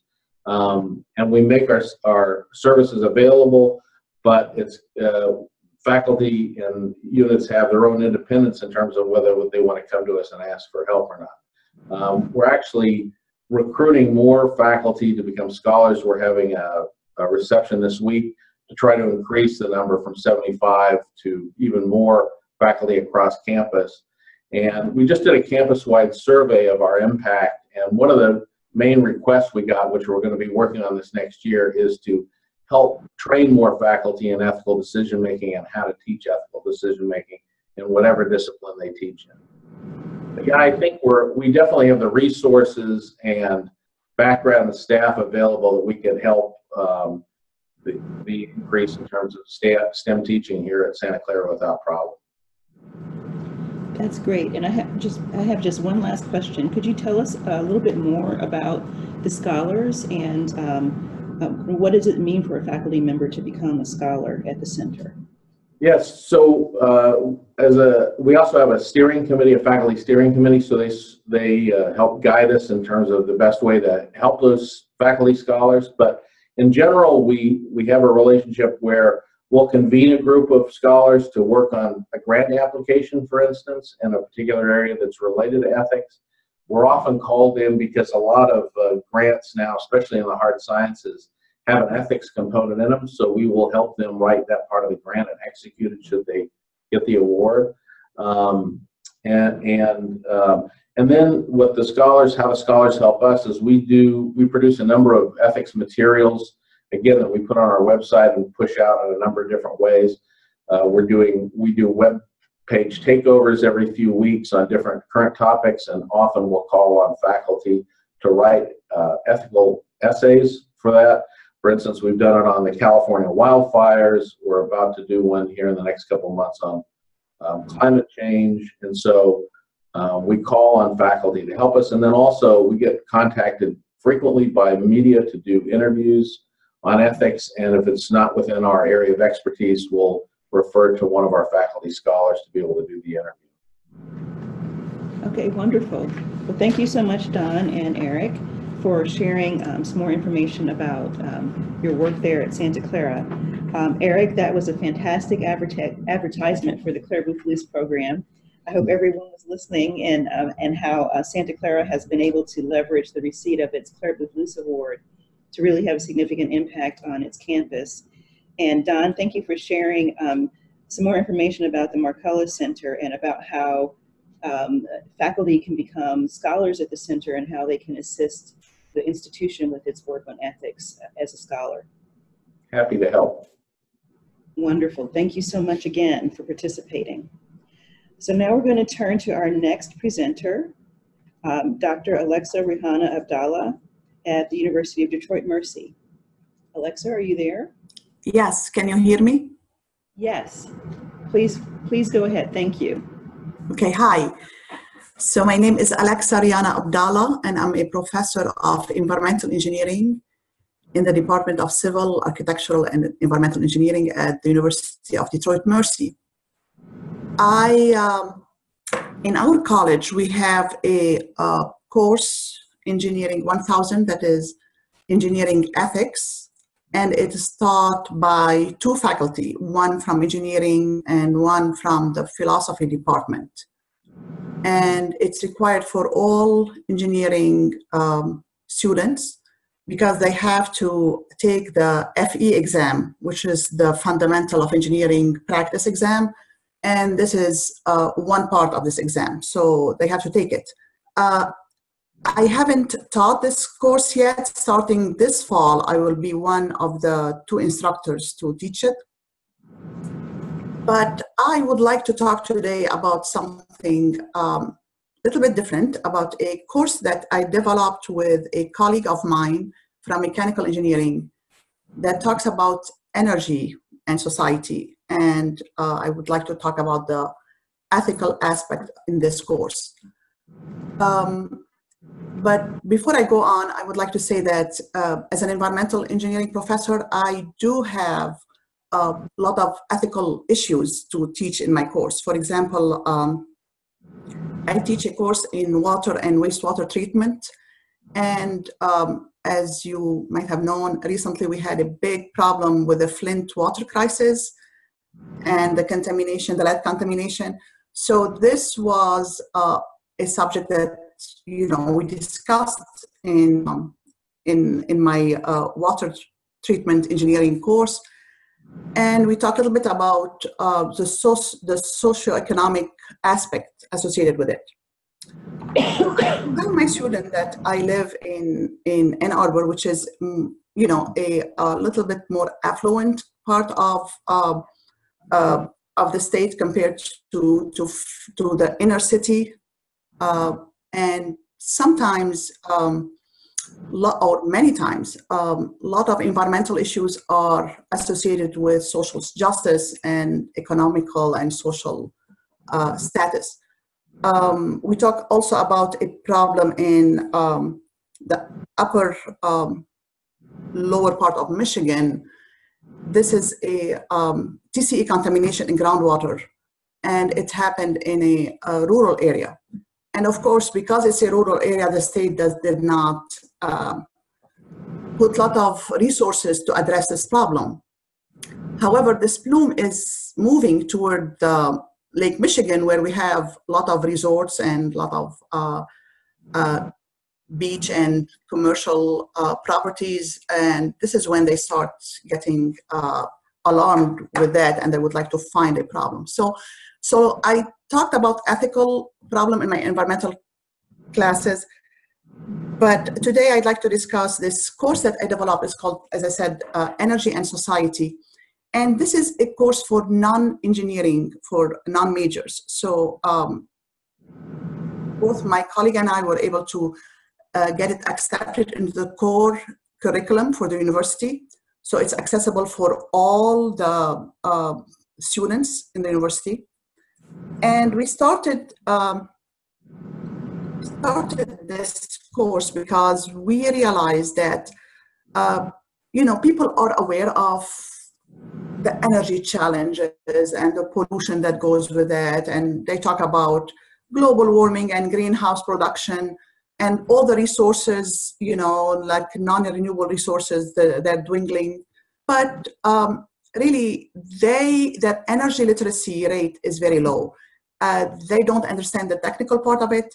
And um, we would like uh, to develop this course.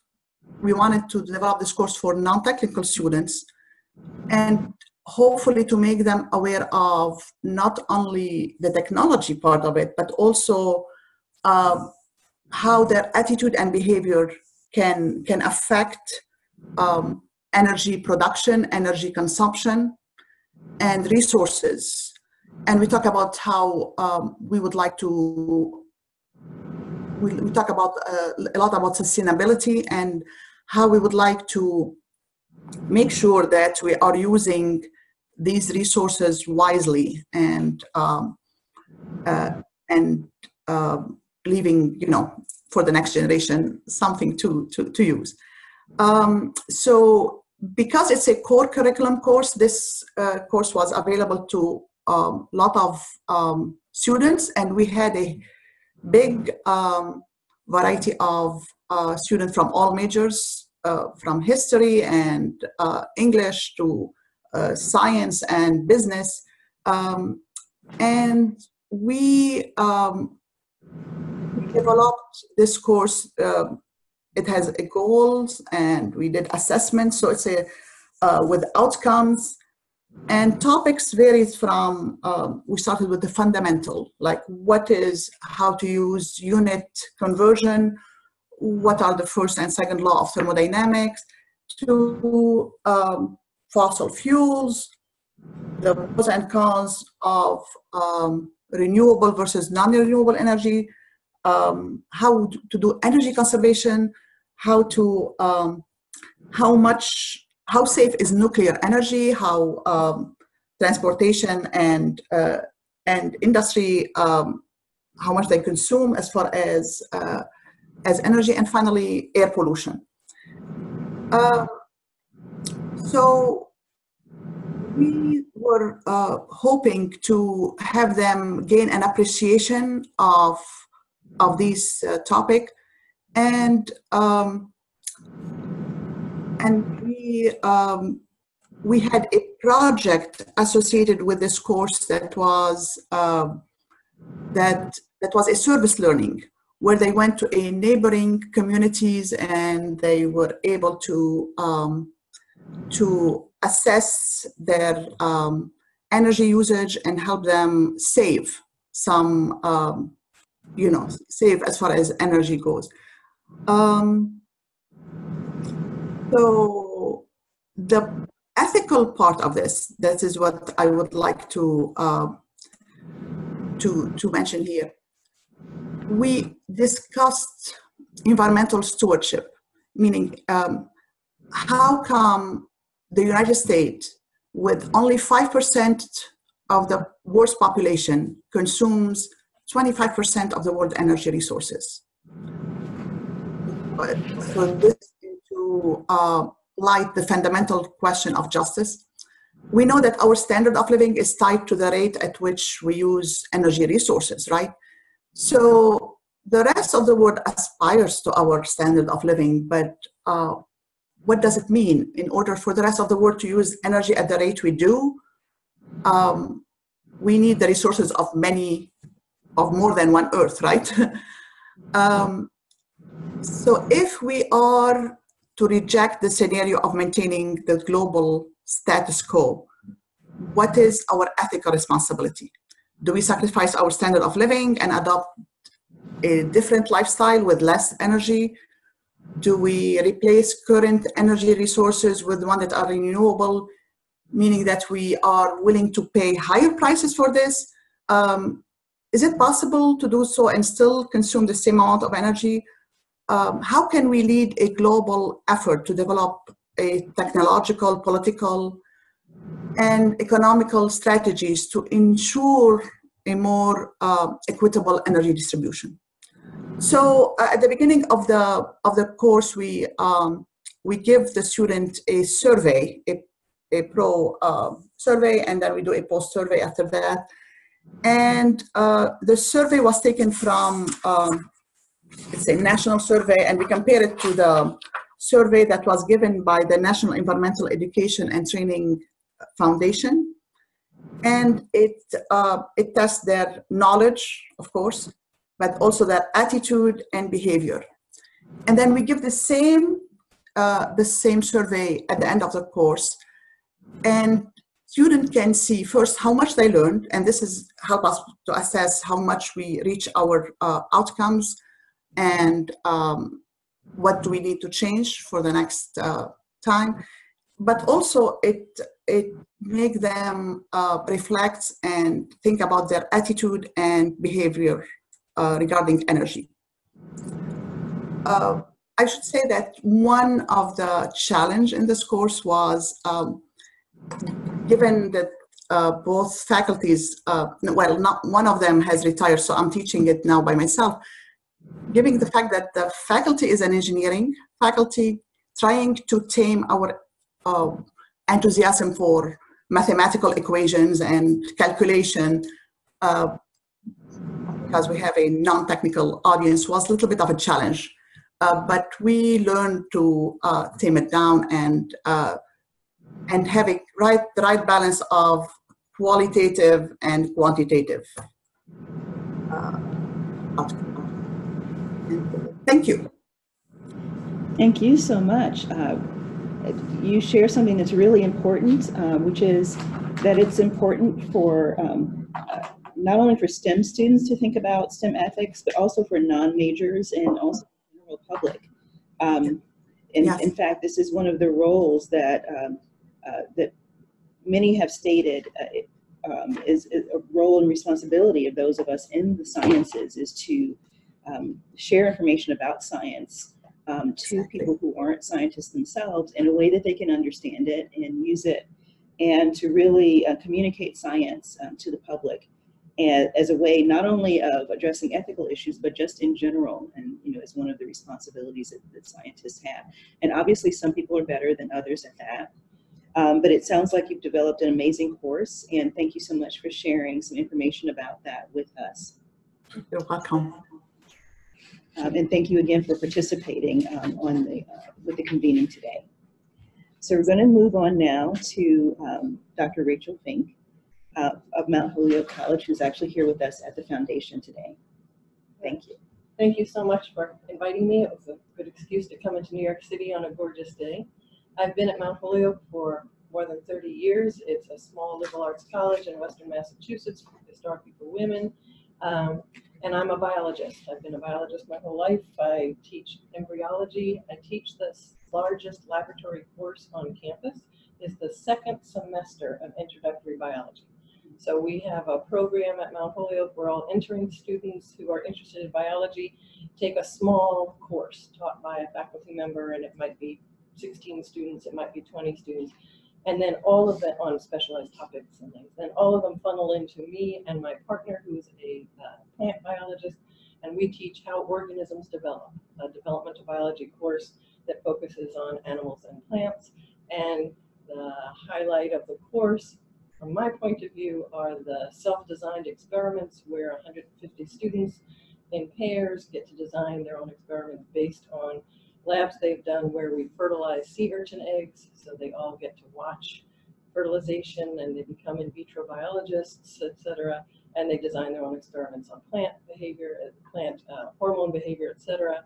Um, and it's been a great course and really fun to teach. And I never had any ethics in it or explicitly or anything like that. Although to me, the thought that you could watch fertilization and see the transformation and the formation of an embryo is by definition one of the most amazing ethical experiences anyone could have, even though it's a sea urchin and not a human. Um, it ties into all kinds of questions that they're going to face for the rest of their lives. Um, and I've been teased that my mission on Earth is to make sure that every man, woman, and child gets to see fertilization and emerge. I'm doing my best. Um, so that course has gone on. I've been teaching it for forever, and I love it, and it's a big lecture course.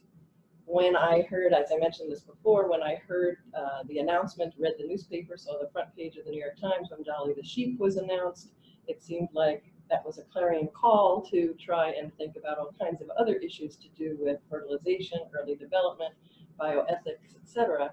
And I designed a course for upper level students. And it started out very small, and I think back then it was called cloning, um, bioethics and biology, or biology and bioethics, something like that. And it has then transformed over the years to stem cells, colon, to regenerative medicine, colon, to whatever the hot topics are, but it's always been trying to get at the science first, because that's what I am, and that's where the students are who come to me, although it has grown to include students that are not only biology students. And um, uh, when um, President Bush, for, uh, George W. Bush became president, um, I've been teaching this course for a couple of years, and he announced that he was going to start, uh, create a bioethics panel, and it would be the council that meetings would be open to the public. He, they announced the people who were going to be on it, and it was widely criticized from the left and applauded from the right, and all different kinds of uh, politics came into it. But it was a group, a very disparate group of experts whose job was to talk about and inform the public about bioethics. And of course, one of the first topics was the uh, discovery and use of human embryonic stem cells. And this council's meetings were all of the um, transcripts were available online. You could read every word that any one of them said. And I thought I wanted to use that somehow in my class. So first we just paid attention to it and I had the students look at it. But over the years, then it became a goal where I had the students each take on the persona of one of the members of the council. And they read everything that that person said. They, you know, as YouTube became even more and more and they could see videos of them. Um, and they then got tried as their best to get into the heads of that person and really have a way of expressing very complicated topics um, without having to have their own personal beliefs put on the line. It can be very hard for an undergrad to sit in a discussion about abortion or sit in a discussion about death and uh, brain death and how do you define it or any of those things if um, if she's not that confident in her background, in her feelings, and yet we really want them to wrestle with these topics, and yet if she is presenting the views of Leon Kass, who was the at the time the chairman of the Presidential Bioethics Council, or the views of a religious scholar, or the views of whomever, they all get to choose who they want it to be. Um, then they could really dive into the conversation and uh, both support each other and uh, sort of attack each other's views without it being personal. And we had all kinds of really exciting discussions. I then decided that I wanted to bring the two classes together. And so I then had the upper level students come to my 150 student intro class for a day, uh, class of bioethics. And the panel would come in and they'd be introduced as um, you know, here is President Bush, or here is Senator Brownback, or here is Leon Kass, or here is bioethicist so-and-so, or here is Nobel Prize winner, etc. And um, they came in and they presented a mock debate about whichever topic we were talking about that year um, in front of the intro students. And that has become something I enjoy more than almost any other kind of teaching I do the students are, by the end of the semester, the upper level students own that material. They own that person in a way, they own those views. They are ready to dive in. They are ready for any question that comes from left field. Um, they are authoritative. That doesn't change their own views necessarily. It doesn't have to represent their own views. Some students will uh, pick a person who they relate to and some people will pick a person that is diametrically opposed to their own personal views. And it's just astounding to watch the transformation of the upper level students as they then are able to answer questions about when does life begin? Why should we uh, fund research on this? How do you, you know, what is a CRISPR baby um, just a few weeks ago, etc. So that class that brings together the upper level students and the uh, first year students um, has worked really, really well. The upper level students design a questionnaire. We just heard about a questionnaire for another class. The upper level students design a questionnaire that they give to the intro students a few days before that just gets them thinking about the topics. And I give the intro students a one lecture science background right before the bioethics panel. So I give a lecture on uh, nuclear transfer, somatic cells, um, embryonic stem cells, regenerative medicine, cloning, all kinds of whatever we need for them to get ready, in vitro fertilization, etc. Um, and then they have they've done this questionnaire on the ethics, um, answering very tough questions in sort of soundbite answers. They hate that, but that's how it's presented in the world. And many times, you know, uh, would you eat cows? Would you eat meat from cloned cows? Would do you support uh, in vitro uh, extra IVF uh, embryos being used for research? What should happen to all of the frozen IVF babies, uh, embryos in the world? All kinds of things. And when does life begin? Circle it on the timeline below. So they get those questions, they come in, then they have the eight to 12 uh, experts, and you can hear a pin drop during the presentations.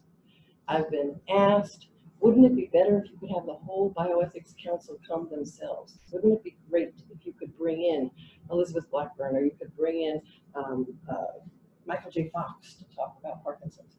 Wouldn't it be great if you could bring in these real people? And why don't you write a grant to bring in the Bioethics Council? And I thought it would be much less effective. My students are very used to having um, leading experts come through and being talked to by, uh, I don't want to use the word grown-ups in an insulting way, but using, but being talked to by, by, you know, the, the real people. We have all kinds of seminar series, etc. And yet to see their classmates, only two or three years older than them, owning this material and really willing to dive into what does it mean to work with human embryos? What does it mean to be able to transform the genetic code of an organism? What does it mean to be able to do this, this kind of work and who should decide? How do we decide? What if you're a Muslim? What if you're a Jew? What if you're a Christian? How do you tackle these questions? How do you put those different parts of your life together that seeing their classmates do this is extraordinary for them. And I think many of my first year students have told me that at that moment they've decided they want to learn more about these topics and they want to take the class when they're a senior so they can come in and be an expert, etc., and do all that. About 15 years ago, I got funding to um, take my class to Washington, D.C. And so I've done that now six or seven times where the class even though there isn't a bioethics council under our current president, um, under President Bush and under President Obama, I think it was seven times I've taken my class down to DC and we attend the meetings. They're open to the public. Um, we would have dinner with council members. If you write them and say, I have students who want to be you, you know, and pretend to be you, they tend to be very, very open to uh, having dinner, um, uh, you know, at a, at a restaurant in Washington and talk about the backstage. I've arranged for White House tours. I've arranged for them to meet uh, lobbyists from the American Society for Cell Biology. They've met with staffers for congressmen and senators. They've uh, met with um, just all kinds of people. When you start planning a trip to DC, it's very easy to find people from a wide range of uh, careers that my students then might want to, to take on. So they've been very welcome at the meetings. They're very uh, blunt about what they think of the meetings and the presentations, and some years have been quite dull, to be honest. Some years have been wildly exciting in terms of the material, and the students have gotten so much out of it. They then, uh, and some of them have had chance to have dinner with their person, the person, the expert that they're pretending to be, and that's always been a really amazing thing. Um, so to me, the best parts of it are bringing together the upper level students and the first years. The best parts are seeing that real people tackle these topics and there are groups out there that are uh, whose mandate is to try and teach the public about this uh, complicated world that we live in and to think about questions that not everybody thinks about, um, that the topics are hard, that the questions are deep, that the answers are confusing, if there are any answers. Um, I have every year insisted that on the questionnaire that my upper level students write for the intro students to take, that I get the chance to have my one favorite question, which is, I believe I, no, I have enough scientific background to discuss these issues. And you either agree or disagree with that. And it always appalls me that it's not one hundred percent to say, of course, I have enough scientific background. And it's, some years it's as depressing as 40, 60. some, and that's just because of the nature of being eighteen years old and a college student and all kinds of things. Some years we've gotten up to seventy percent to say that they do have enough scientific background, which is good.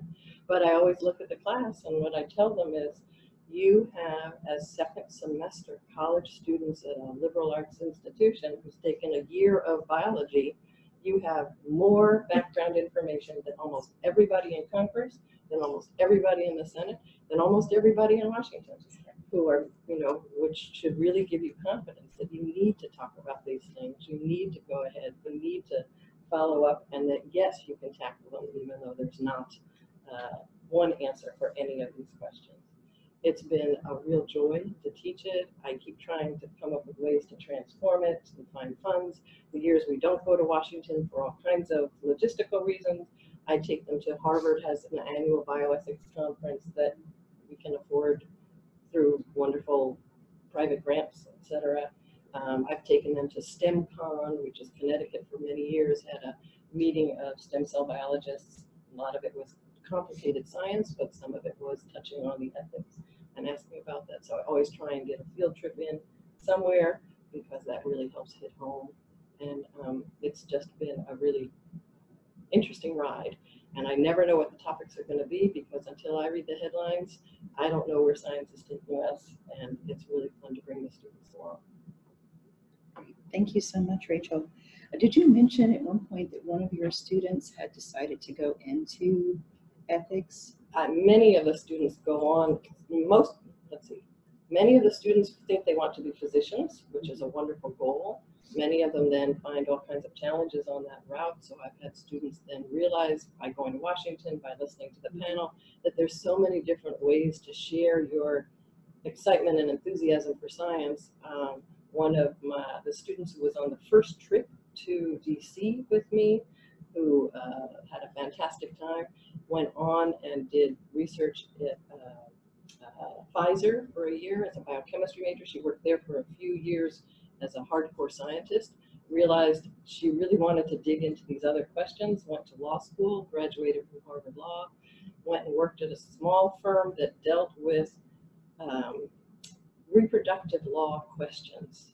Who um, sort of, uh, if surrogacy is legal in one state but not in another state, how do you drive back and forth? Just incredibly complicated questions. She worked there, she worked at a large law firm, and now she's the head of a bioethics center at Yale Law School. And uh, comes in back to my class every year and teaches one section to the class. And Katie is one of the most amazing young women I've ever met. And remembering her back starting in the first trip to DC was is a really fun path to see how she's where she's gone.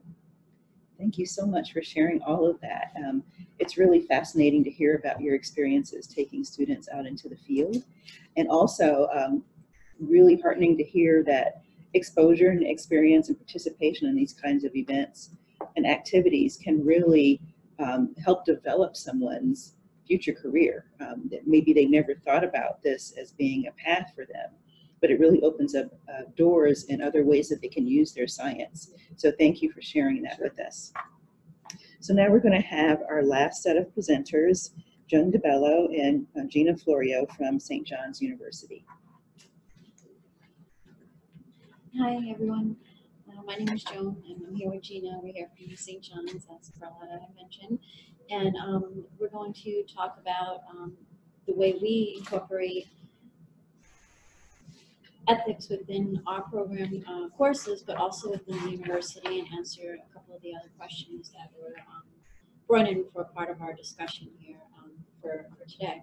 So in my, my division, I'm the chair of the Computer Science, Math and Science Division for the College of Professional Studies, and we have a couple of different majors within our program. We have computer science, of course, and we also have cybersecurity, uh, healthcare informatics, and networking. But within the computer science and the cybersecurity, there's a lot of different um, ethical issues that come into um, our courses in terms of hacking. And one of the, faculty members who was the person who started up our program for um, cybersecurity um, had decided that it would be a good idea if our students signed the White Hat Agreement. So they um, created the little uh, form that's basically a lot of schools out there have um, the same thing. And they signed this White Hat Agreement that they will um, hack for the purposes of their courses and do things in an ethical way and not use it to do anything harmful to the university or afterwards or while they're um, while they're here as a student. Um, with that, a lot of our other um, professors created a their own little agreement. I have one myself that all students sign on the first day of class. classes on an info sheet and it actually makes them sign a form that they will promise that they will do their own work because computer programming there's so much stuff out there to find and you know we don't want them to cheat or do anything um, you know from another student or or you know pass it on to another student because a lot of them don't even realize that helping by giving the information to another student is still cheating. It's not you know that they stole it without them looking. It's still cheating by giving it to them and trying to help them. And um, we also have them sign the form that, well, I have them sign the form that says if they do see this, that they'll let us know so that we can, um, you, know, tell them that that's not really the right way to go about um, the course. Um, in my class as well, um, it's an introductory level course for freshmen and I do a service learning project. Uh, service learning is an important um, part of our university because all students uh, take it through a course that's called the Discover New York class here at, at the school, but a lot of the programs um, have created them within their own disciplines. And within the computer science course, I create a um, cybersecurity um, pamphlet with students. They work in groups of up to two, or they can do it alone. And they create a whole um, pamphlet on internet safety, on how to how to um, use the internet correctly, how to deal with um, issues that might arise, um, how to not put any schemes or scams out there, any phishing attacks, things that might be of that kind of sort of information, what to do with data once it's collected, depending on the different age groups that we're working with. Some of them will write it towards the elementary schools, the middle schools, the high schools, or even for the elderly um, people in like a senior center or one of those uh, places in the library. And we send these pamphlets over to the service learning office and the service learning office will print them out and distribute them to wherever the age group is appropriate.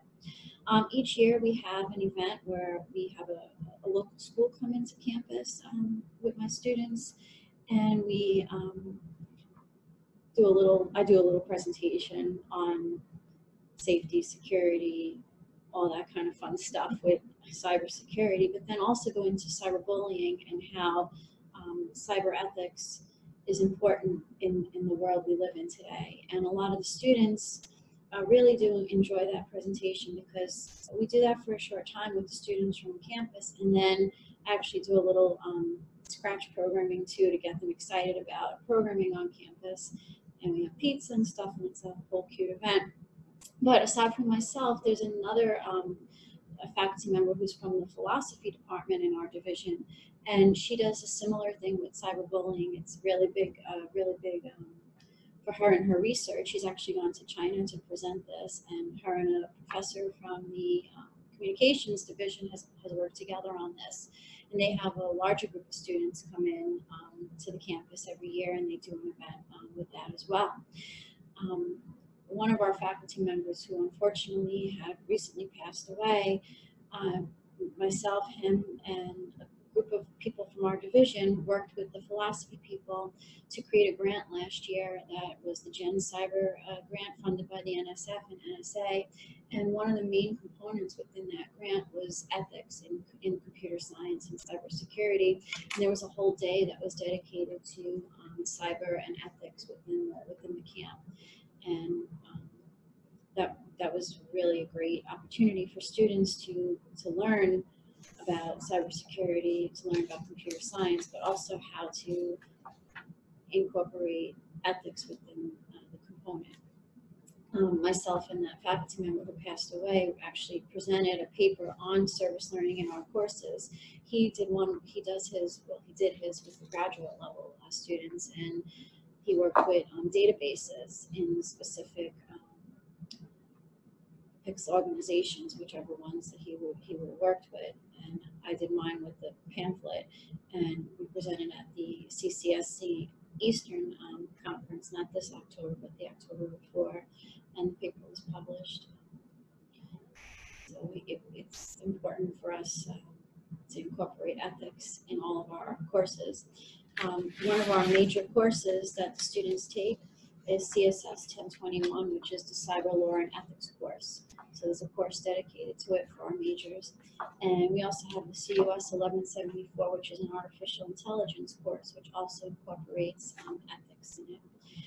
Right now in the fall, we're going to be creating, well, the first cohort of graduates will be entering in our new master's program, and one of the tracks is in artificial intelligence. And I, I do some research with robots and artificial intelligence and written a couple of papers and things on cyber ethics and, and cybersecurity and the issues and privacy concerns that deal with that. So it's really important to me with, with those issues. So we have some really cool robots. If any of you are around go to St. John's, uh, Gina saw them. They're, they're pretty cool. a lot of our faculty are working on things that do with natural language processing and ethics and machine learning, and there's so much out there right now on you know artificial intelligence and artificial intelligence and the ethics behind it. So that's one going to be one of my programs that I'm going to be working with projects with students in the fall semester. Is going to be research related to that.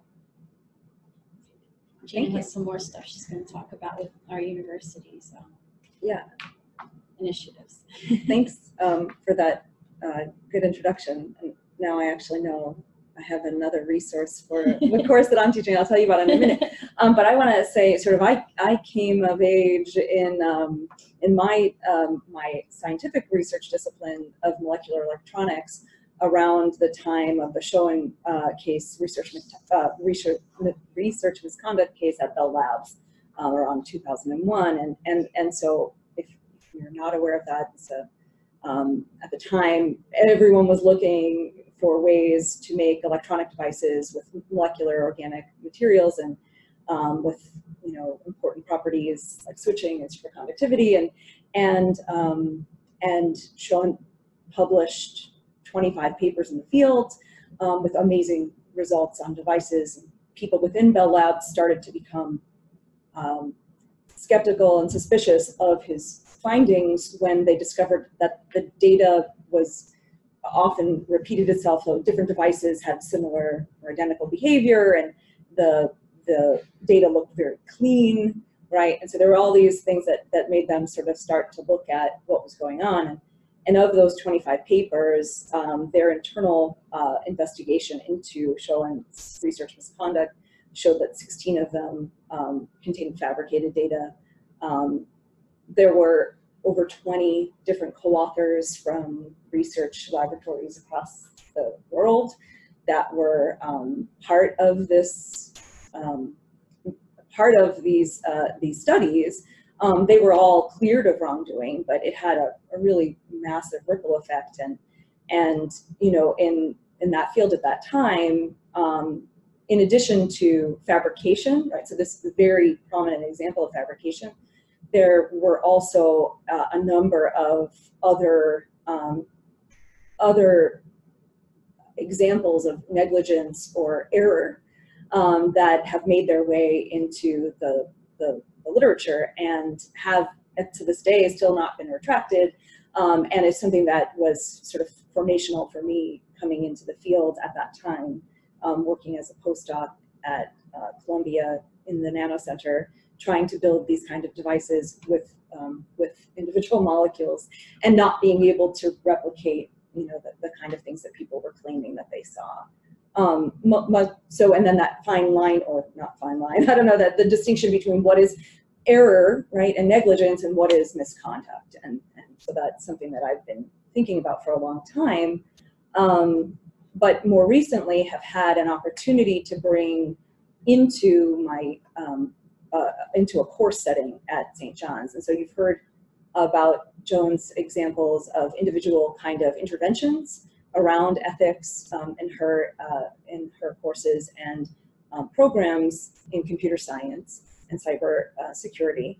Um, in um, in the sciences within my college, uh, we're in different colleges, I'm in arts and sciences, um, there are less examples of explicit courses based in ethics, except for um, our core curriculum, which has a has a, a, philosophy um, ethics course that all students take as part of their um, first year, typically first year, Yeah, second year the whole curriculum. university takes it, no matter what college that they're in within St. John's. And I'll tell you about something that we're trying to do, which builds off of that foundational course uh, in a moment. But um, I want to take a minute to tell you about a course that I've been teaching, uh, that I taught for the first time this year, a two semester long course um, based undergraduate research experience or CURE called Solving the Big Problem. And um, it's the course is a centerpiece of our NSF STEM scholarships in STEM award, um, and it's supported to this to date 39 individual students in two cohorts um, over the past two academic years. Plus, we've identified a third cohort for next year. Um, these students are selected to participate in the STEM um, Scholars Program at St. John's, where we provide them with financial support through this NS, through the NSF grant, as well as this course-based undergraduate research experience that they take in their second year. So we're, we're identifying students in their first year um, at St. John's, and I can discuss why we do that uh, later on if, if you're interested. Um, but we really have as a goal of that overall program to, um, to grow a STEM pipeline um, and to, um, to broaden uh, participation. So uh, it's been, um, so far, the program itself has been impactful in those capacities. Um, we have 69% of our students have been female, um, or identify as female. 38% of them are in traditionally underrepresented um, populations as defined by the NSF, um, African American, Latinx, and Native, um, Native, Native, let's see, Hawaiian or Alaskan um, or American students. So, uh, and then 56% of the students classify as either high or very high financial need. So these are students at, that are Pell eligible or just above, or just sort of uh, with family incomes just above Pell eligibility. Um, so in this two semester course, uh, our students are given a topic, so a general theme, a prompt, um, which is a big problem of societal uh, importance. Um, so water or um, climate change, and then they are, um, or local issues, and then they're basically use um, a lot of different approaches, including design thinking, which we heard about earlier today, um, to ideate, design, and develop, and then implement their own research projects around that central theme. So they work in, in teams to do this. Um, and so uh, this course focuses both on the process of science and its products. Um, as a, because these are introductory level students in STEM, um, they need lots of skill building activities throughout the, the, the course. Um, and so my role as an instructor is really to help them um, build those skills and to connect them with a broader network of people who can assist them in their research throughout the year. Um, so one of the skills that we build is by explicitly treating uh, responsible conduct in research and STEM ethics. And I use um, the National Academy's um, on being a, on becoming a scientist, ethical conduct in research um, booklet. It's a pamphlet, uh, and it has really nice, succinct um, definitions of lots of different um, important sort of topics within responsible conduct and research, sort general introduction, advisement, mentoring, how you treat data, what's the difference between negligence and error versus fabrication, um, how you respond to research misconduct, um, authorship, allocation of credit, how we share our research results. So all of the things that we've been hearing about so far in our discussion today, and generally the role of the researcher in society, dealing with human subjects, animal subjects. I guess you don't with vertebrates, so Rachel, so yeah, in your course, so you don't have to maybe uh, do some IRB work there, but um, but you know, so and because I don't know what the students are going to choose to do their research on, and we give them a pretty wide open landscape, um, sort of make sure they have access to all of this information. um, which would not normally come up with a, in a chemistry course. You wouldn't necessarily talk about dealing with human subjects, right? So an IR, uh, IRB approval of your research. Um, so, so the students um, work uh, sort of in, in, teams to tackle a couple of these chapters. Um, they do some, some um, case studies and then they report out for a debriefing with the, the larger group on their topics and, and so we develop some, um, some good uh, um, discussion in that in those sessions. Um, one of the things that I'm interested in now is assessment of the efficacy of this intervention. And so it's been interesting to hear what other people are doing here today and hopefully people are amenable to being uh, contacted for additional follow-up regarding assessment of efficacy. Um, we are, so, so that's one example of a sort of individual intervention. We also have talked about things where we've got departmental or divisional change and then um, bigger uh, institutional efforts. Um, so one of the things that that we're um, hoping to do, and uh, some colleagues of ours have submitted a proposal through the NSF Cultivating Cultures for Ethical STEM um, program, is to build off of our core curriculum, um, which has strong theology and philosophy components as we are a Catholic um, institution, and so Catholic social thought and Catholic and Vincentian intellectual tradition is important at our institution is foundational to all of our students, um, our STEM students' uh, experience. So build off of that um, and develop a center for STEM ethics, um, maybe doing the work that, that many of our other colleagues today have, have discussed um, in, in a more kind of complete and systematic way. Um, we also have a lot of contact with our Vincentian um, colleagues so the Vincent, so our Office of Institutional Mission, um, one of the Vincentian um, uh, priests uh, runs a Center for Church and Society, and every other year has uh, Rosalie Rendu roundtable discussions where he brings together STEM um, faculty, um, other professionals, theologians, and philosophers to discuss um, ethical issues. Um, and then my personal hope is that we can use our CURE model um, to sort of bring research, undergraduate research to scale at St. John's, and that as part of that, we would um, impact a broader community of students with our discussions of, of ethics and, and responsible conduct, but, but research more broadly. Wonderful. Thank you so much to Joan and Gina for sharing um, some of the work that they're doing at St. John's. Um, and you know, issues such as cyberbullying um, might seem to be kind of outside the realm of what you would think about talking about in a college classroom, but it's so important um, in our society today that um, I, I, believe that we almost have a responsibility to address these kinds of issues along with issues of, of hacking and the other kinds of activities that students with computer science knowledge can undertake. So thank you so much for sharing that. And it was really interesting to hear about how St. John's is integrating ethics into every level of the institution and some of the ongoing work that you're doing. So thank you very much for sharing. Okay, so we're going to go ahead and break for lunch. We'll reconvene at 1.15 p.m. And at that point, we'll have our open roundtable discussion of the morning presentations and, um, and thoughts for the Room for Wisdom blog, which we're planning. So I would encourage you, uh, those of you who are um, participating by Zoom, to think about some of the questions you might want to ask, and feel free to go ahead and, and um, send us to uh, send those to us through the chat function. And when we come back from lunch at 1:15, we'll start to uh, address some of your questions.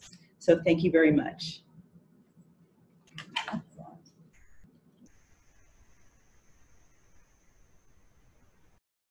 One. Um, we're going to go ahead and get started with our roundtable discussion um, of the morning presentations and any thoughts for the Room for Wisdom blog. Um, so far, we haven't received any questions from our participants. So if you're uh, out there and you have a question that you'd like to ask of our panelists who are still with us, of our uh, presenters, please be sure to go ahead and send us that question by chat. I'm going to go ahead and get, get us started here. Um, and I'm going to start by asking our presenters, um, specifically Rachel, Joan, Gina, and Alexa, given their experiences in the classroom, um, how are students reacting to and engaging with, um, with the ethics material? Um, we've heard about one example of a student who actually went on to, to choose ethics as a career. But short of that, how do you believe your students are being transformed by this work? Um, and I'll start with uh, Rachel and um, then go to Gina and Joan and then to Alexa.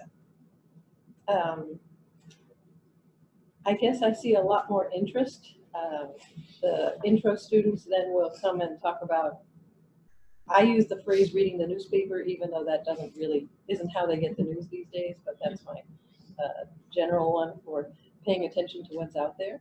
They will, in their upper level classes, after hearing the bioethics panel by their classmates, they will email me, I just heard about this, I heard about that. They will pay more, much more attention.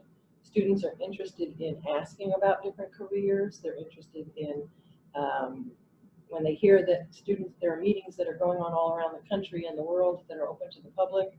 Could I go? Do you think this would be interesting? I I think they're much more engaged. Not all of them, of course, but I think there are some um, students look into public health more as opposed to straight medicine um, and how they can link that to the rest of the world and what they've heard. So I'd like to hope that it opens their eyes in different ways. Great, thank you. Yeah. Um, so, so specifically, um, what I've seen is students, uh, again, interest, as, as Rachel mentioned, interest in uh, having conversations about um, about authorship, about mentoring, about what the right way or the wrong way, right? The right or the wrong. I mean, they're these are um, sort of young uh, students early in their academic careers, so um, so those don't seem so the, the issues still seem pretty black and white to the students that I'm working with, um, but that they're willing to engage in those conversations as follow up. Um, and you know, I I I would also hope that through these kind of programs um, or sort of interventions, uh, educational uh, opportunities that we're providing students with those alternate kind of career paths in STEM. Sure. And um, with my class, the, the students um, all seem to enjoy the service learning project and learning about ethics, but more importantly, um, giving back to the community um, what they've actually learned. So I have some quotes that some of them had written. So um, one student said that despite the enormous number of applications internets can, the internet can provide, using it still comes with plenty of risks. These risks including phishing, computer viruses, identity theft, cyberbullying, and many other dangers. The dangers are why we need to be informed and up to date with crucial information that can protect us. That is why it's important for us to create these brochures on internet safety. Another one wrote that as technology gets more and more advanced, so do the scammers who attempt to ruin people's lives and deceive. Uh, they decided to, we decided to target age 65 and above because the elderly are starting to take classes to learn how to use computers. We want the elderly people to learn how to use technology effectively and safely. And another one wrote, when we were younger, nobody was there to help us learn about internet safety. Rather, we had to teach ourselves. I mean, who was going to help us exactly? Our parents who came from third world countries who barely spoke a lick of English, they were just as confused with the online web as we were. So it's very important that, you know, they enjoy learning about this, but then giving it back to other people. Great, thank you so much. Yeah. Alexa? Uh, let's, I think we need to unmute you. Or maybe you can unmute yourself.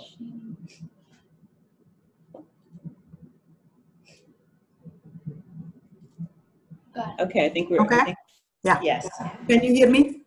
yes. So in my energy class, uh, we did the survey, the post and the pre and post survey. And of course, knowledge of uh, energy issues uh, have improved. They know more now. But most importantly, their attitude and behavior changes. Uh, some said that they did not think about um, about some of the questions in the survey as uh, uh, they used to think about it previously. And most importantly, you know, they did this uh, service learning project. And um, with our university, this is like a big, um, you know, the same, we share the same values. And we, uh, whatever they did in this project really impacted their thinking. So now they make more conscientious uh, behavior toward uh, conserving energy. So conservation of energy came as a uh, common theme throughout the course. And they realize that uh, it's easier to uh, prevent pollution rather than at the end coming and trying to um, mitigate all the problems that created afterwards. So uh, instead of trying to find solution afterward, it's easier to uh, to do it at the front end of it. Great. Thank you so much, Alexa. Okay, so we have a couple of questions from our um, participants. We have another question that's focused on students. So actually, this is a question from another one of our presenters who would like to hear from others. Um, curious to know what ways others have been able to inspire students to attend non-required workshops on ethics. We have a small core group of students who are interested, but most seem turned off by anything labeled ethics. So do you have any suggestions, or any of our panelists who are still participating, on how to get students engaged and interested in ethics classes? one of the suggest well two of the suggestions I have is that when we have guest speakers every once in a while, I, I run the learning communities for our, division as well. I have so many different hats, and um, we offer extra credit to the students if they attend. So if they attend, they get some extra credit for a class, but also free food. If you give pizza, they come. they don't care what the topic is. Yeah, so that sounds great for um, like a visiting lecture or a seminar. Um, what about those semester-long courses in ethics? How do you get students interested in those? Any suggestions? Well, I know one of the, so I, we had mentioned that we have a core course in philosophy, which is an ethics course that students have to have to take, which is their perspective. Um, and, uh, and, and one of the ways that they have accommodated the different needs um, and in interests of students is to have them thematic. So there's a health sciences version, other business ethics. So I think you know that that's one approach um, that then draws it becomes a draw for students to to enroll in those based on interest. It's more discipline specific. Okay. Then I think that more students might potentially take those courses. I think at Mount Holyoke, we tend to have wait lists for many of the classes, and so it doesn't seem to be, but we don't have a required ethics course across the curriculum, as we've been hearing about. Um, but uh, uh, medical ethics classes, medical anthropology, all of those are very over-enrolled and have lots of students waiting. I think one of the best ways is to get students to be the sponsors of things. So if you ask a group of students, who would you want to invite to be a speaker about topic X, Y, and Z? Or how would you advertise this class? Let the students talk to each other is the best route I have found. And so in the class classes I talked about, lots of students come because a classmate told them their class, you know, or their friend is presenting or introducing the speaker or something like that. So having the students encourage other students is the best way to get them there. Okay, great, thank you. Um, are any of our other presenters who might still be online via Zoom um, available who might want to answer this question as well? You may need to unmute yourself or send us a chat really quickly and, and we can un unmute you ourselves here. So I'll wait a few seconds to hear from any of our additional panelists. Okay, well, I hope that that question, by the way, was from John Lubker. I hope that, John, you found some of those answers helpful, and I would encourage you to reach out to some of the other presenters um, who have some ideas for how, um, how to engage students in those uh, non-required ethics courses um, after the convening. I'm certain that they'll be able to provide some more information. Okay, so I want to move to the next question, which is actually about a question um, that I had uh, myself, which is related to um, science, communicating science to the public.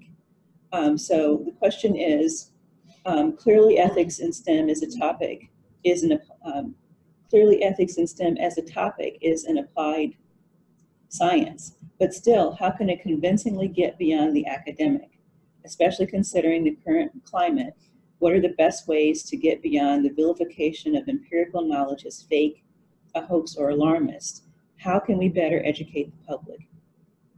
So, do any of our um, uh, presenters here want to, in the uh, in the Luce office want to address um, what are some of the ways that you've identified to share your science um, and your particularly as it relates to STEM ethics um, to the public? And maybe even address some of these questions about um, what's, uh, what's real or fake, or what's a hoax and what's um, alarmist. I know that's a that's a really that's a that's an important question. Yeah. I think that's one we're all grappling with right now, and I wish I had an answer or any kinds of answers. I think anytime you talk to the public, um, engage parents when they come to the campus, they then spread it out farther.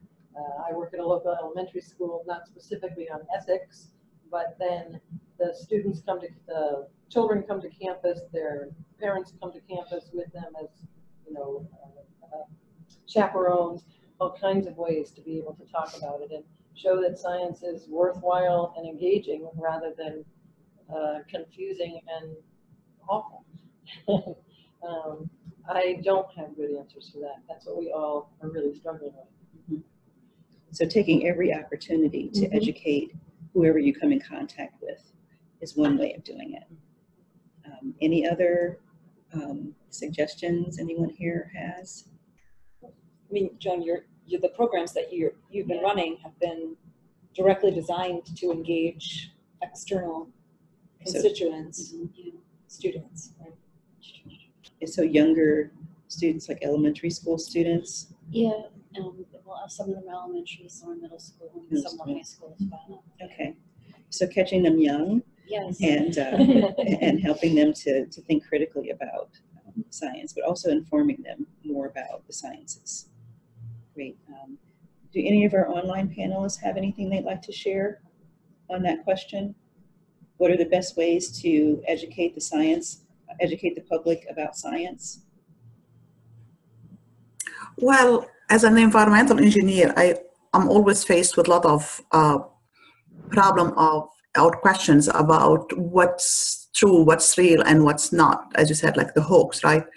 And most importantly, the is climate change a real problem we are facing? So, uh, other than showing them data and statistics, I try to show them also, um, especially for my non-science major in in uh, in the environmental science class that I, that I teach, and then with the energy and society class, uh, I show them documentary. And one of them, usually, uh, the one I usually like is um, it's called Chasing Ice, and it shows how um, our ice cap and uh, glaciers are uh, melting. And usually, uh, after seeing a documentary, uh, as they say, an image is worth a hundred or thousand words. They are more uh, convinced and impressed with it. So, giving them case studies or giving them uh, or showing them documentaries can be also an effective way to disseminate the uh, information. Okay, great. Um, and I also wanted to mention um, that one of my alma maters, um, uh, Stony Brook University, has a program, the Alan Alda program, and I, I'm not sure if I have the title exactly. Uh, for it's a Center for Communi- Communicating Science and the and the public, or to the public, um, and they will work with um, institutions and individuals at those institutions to translate their science for the public. So there are organizations now that are helping those of us in academia or those who work with academics to find ways to translate their science from you know all the scientific jargon that we tend to use when we're communicating with each other to language that can be understood by the general public and on topics that are of interest to the general public. Um, and also, one of the, the goals with our blog is really to get um, people outside of our kind of small higher education world um, thinking about these issues and get them interested in these issues as well, because the blog will be available on the Henry Luce Foundation's website, which is open literally to pretty much everyone in the world. So uh, it won't, although we anticipate that most of the people who visit the blog will be people in the higher education community, um, it's not definitely not limited um, to that community. So I think every little thing that every person can do, um, and you know, we recognize, and I recognize certainly that I'm not an expert on communicating science to the public, but there are people who are more expert in that who are available to assist. Um, and then also touching young people, very young people, elementary school, middle school, um, eh, before they become really um, big consumers of information that's out there. To be able to think critically about what's available is another way to, um, to address that. Um, so uh, I think really kind of doing what you can, and if, if you want to do more, there are resources out there that can help you um, do more. And if each of us does something, um, then it's bound to have a significant positive impact. At least I hope so.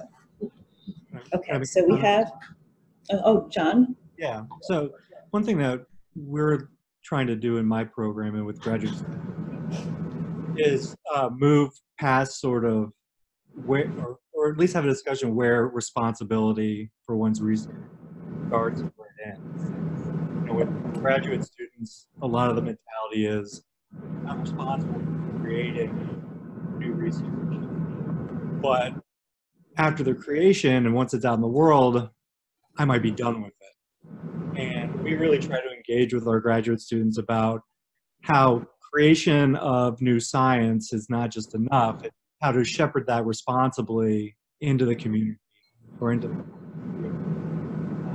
and looking at the downstream effects research can have. The uh, Pew Research Center put out a really interesting article on September 11th of 2017 about how people approach facts and information. And it talks about um, how people either deal with new knowledge or stress or are stressed out about maybe contrary knowledge. And they talk about different groups as either eager and willing or confident, to the cautious and curious, and even even to the doubtful and the wary. And so if people are interested in looking at how, how and why people respond to new information in different ways, I would suggest looking that up. And I can, Carlotta, I can send you the link to uh, to this article as well. Great, and we can make that link available to everyone. But I think you you uh, raise a really important issue, John, which is that we may not be able to get everyone to be engaged, but if we can get those first two groups that you mentioned, the ones that are curious and the ones who want to know more, mm -hmm. um, and, and educate those people about, um, about science.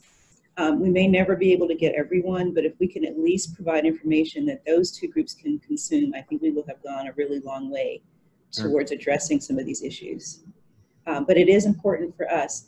And again, if, if you're a scientist and you're not good at doing this yourself, um, identifying a partner, whether that partner is someone at your institution or at a center like the Alan Alda Center Communicating Science um, to the public um, to help you to be able to uh, translate that information, I think that it's something that could be uh, quite worthwhile.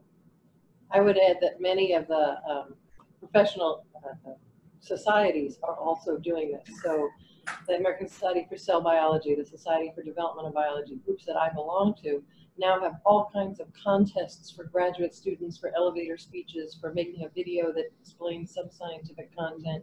They have workshops on how to translate your very complicated, uh, tiny, tiny piece of the world that you're trying to study and bring it up to a, a level um, that anybody can understand. I think the societies are doing amazing work, at least the ones that I see, in really helping people think about it, even if they don't do it, they understand the need for it. Mm -hmm. And um, I agree that the societies are definitely playing a really significant role there.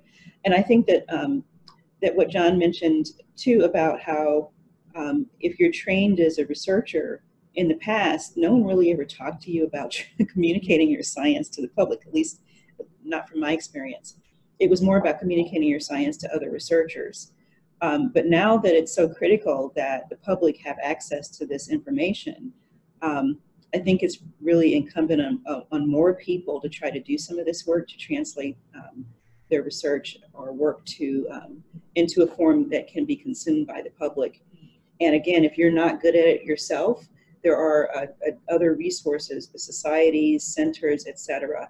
Uh, maybe even on your own campus, people who can work with you to help you to do some of that work.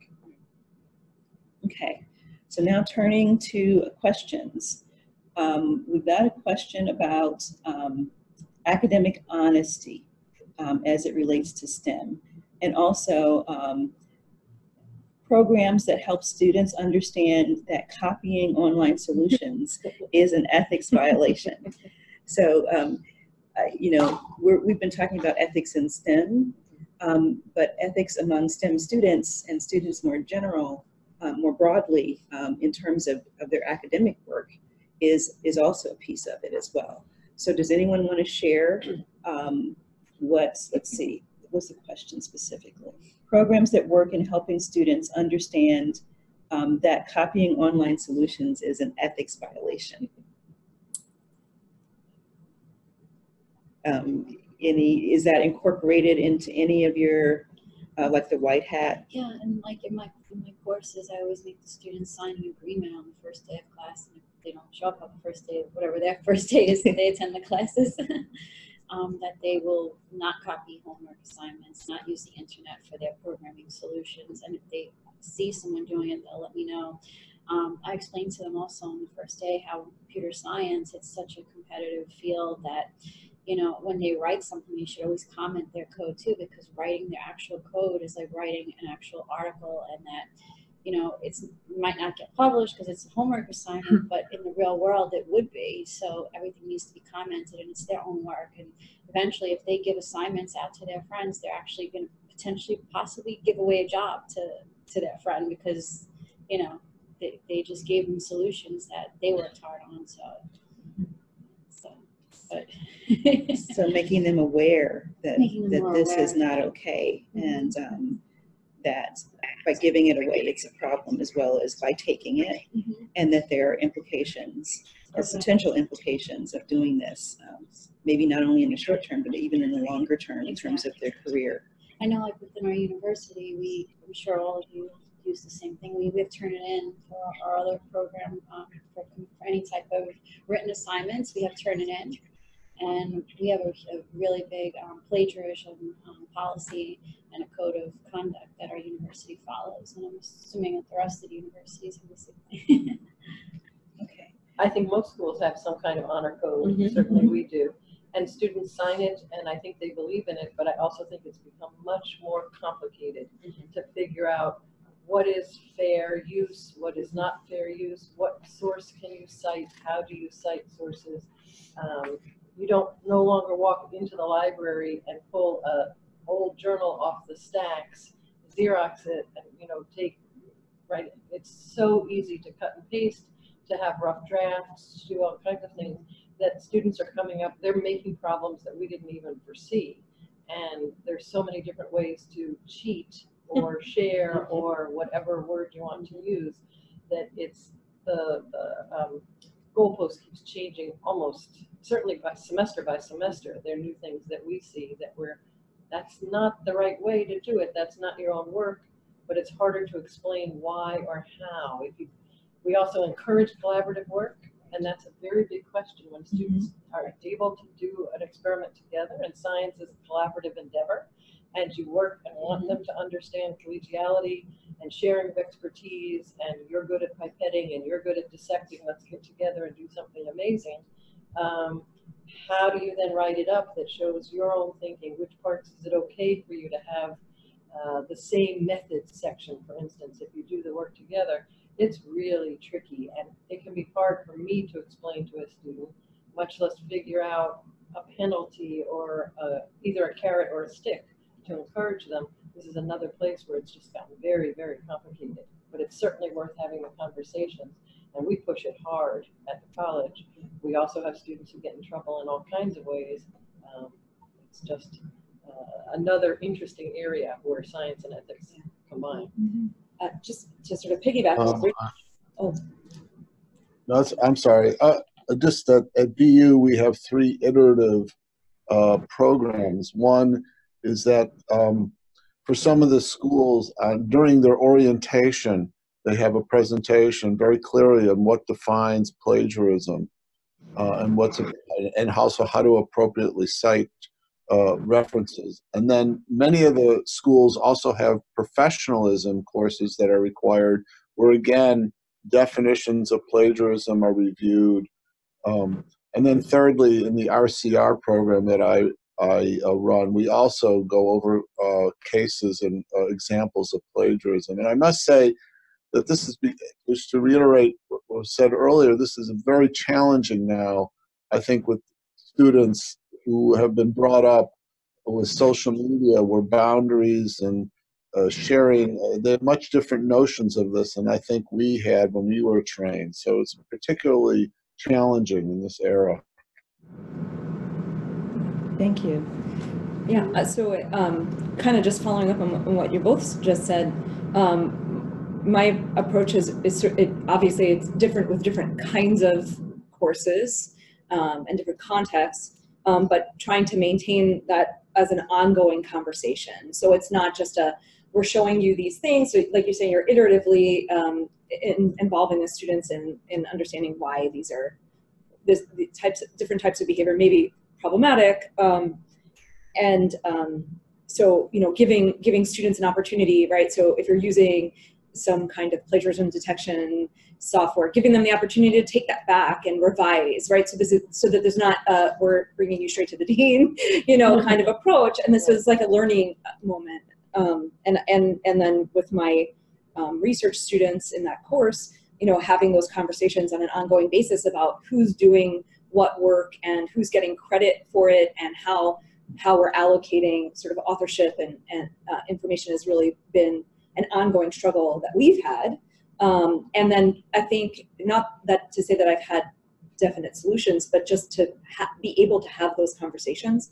I think, and you know, giving students uh, uh, uh, approaches and ways to maybe correct um, correct course, you know, throughout the semester. Uh, I think that has been really um, for me anyway, it's been transformative to see them approach these kind of really tangled, um, difficult topics. Oh, we are also using uh, self-assessment of and and peer assessment tools. So rubrics on teamwork. We've been using the value rubrics from the AAC&U. Um, they have ones that assess teamwork, and I think that that gives them an opportunity to say, "This is what I've contributed, and this is where I feel others aren't contributing." And so give them voice in that it's part of the grading. Okay, great. Alexa, did you have something? Yes. Yes. Um, so uh, similarly to what other people said, we have is uh, I tell them in my term paper, especially that most of our most of my classes need they have a, a scientific term paper to write. That their paper will go uh, through a um, plagiarism software that will detect you know similarity of things. So they're aware of it, and I give them um, usually two or three tries to do it. So like the first time they enter their uh, their paper, they will see where uh, similarity is, and they can kind of uh, rewrite this paragraph. Um, another thing is that when we are doing group projects, I ask at the end of the of the project that each member of the group rate the effort of the other members and this is individually. So and then i compare um, what you know what the percentage is and if i see a big uh, discrepancy then i will uh, talk to the group. And uh, it's funny that um, the way they um, they feel that their their sharing effort is is different uh, from you know uh, within the, the group. And thirdly i want to say that i've had experience in um, like the concept of plagiarism between American students and uh, international students. Uh, a lot of uh, international students, um, not European but from other countries, they feel that um, it's no big deal to to copy and paste. They don't uh, or copyright. They don't have sense of what copyright uh, means. and um, th- this is how they were brought up, you know, in their education system. So it's been challenging to explain to them, especially that uh, you, most of them come as a graduate student. So for uh, our, in our undergrad, they go through orientation and they're explained exactly uh, what is the honor code and the expectation for their behavior. When they come as an uh, graduate students, um, we found that we need to go through the same routine and explain to them because they did not have that uh, same level of um, uh, ethical code that we, we are expecting from our students. Well, thank you, Alexa. You really raise an important issue, which is cultural differences and understanding of what it means to be ethical. Um, some cultures may even um, see copying someone else's work as being a way of honoring them and, and their work. And so we really have to be very clear with how we're defining ethics, um, particularly when it comes to um, the kind of work that we're talking about, uh, plagiarism, et cetera. Um, and um, not assume that everyone has the same understanding of those things as we do, and also giving very clear guidelines for how things will be reviewed, and then also possibly giving them another chance because there could have been some misunderstanding and not necessarily assuming that it was um, deliberate um, ethical violation on their part. So thank you all so much for that discussion. So we, we're reached, uh, we have reached the last part of our conversation, which is our closing thoughts. And what I would like to do is to um, go back down our agenda list and ask those presenters who are still with us to um, just in a minute or so, a minute or two, share with us what you see as being next for ethics in STEM. Uh, what topics should we be looking at? What's coming down the pike that we really need to be prepared for that maybe we haven't already discussed? Is there something that we can do as the Clare Boothe Luce community or as an academic community to, um, to, to be ready for what's coming next? Even if it's a conversation that we need to have that maybe we haven't, um, excuse me, that we haven't mentioned yet in this convening. So I know that Maggie is no longer on the call with us. Perhaps John can get us started off. John, are you still with us? John Lubker? Yeah, um, I still am. Okay, great. Okay, in, in the 30 seconds I've thought about this, these are my initial thoughts. So maybe they're the, okay. maybe they're the most important ones. So the ones coming right to my brain. But um, at least for graduate students, um, I think we, we being the educators in the room, need to encourage and challenge students to think about what are the most pressing ethical issues in their discipline. And we need to provide them with the mentorship uh, to enable these discussions to happen.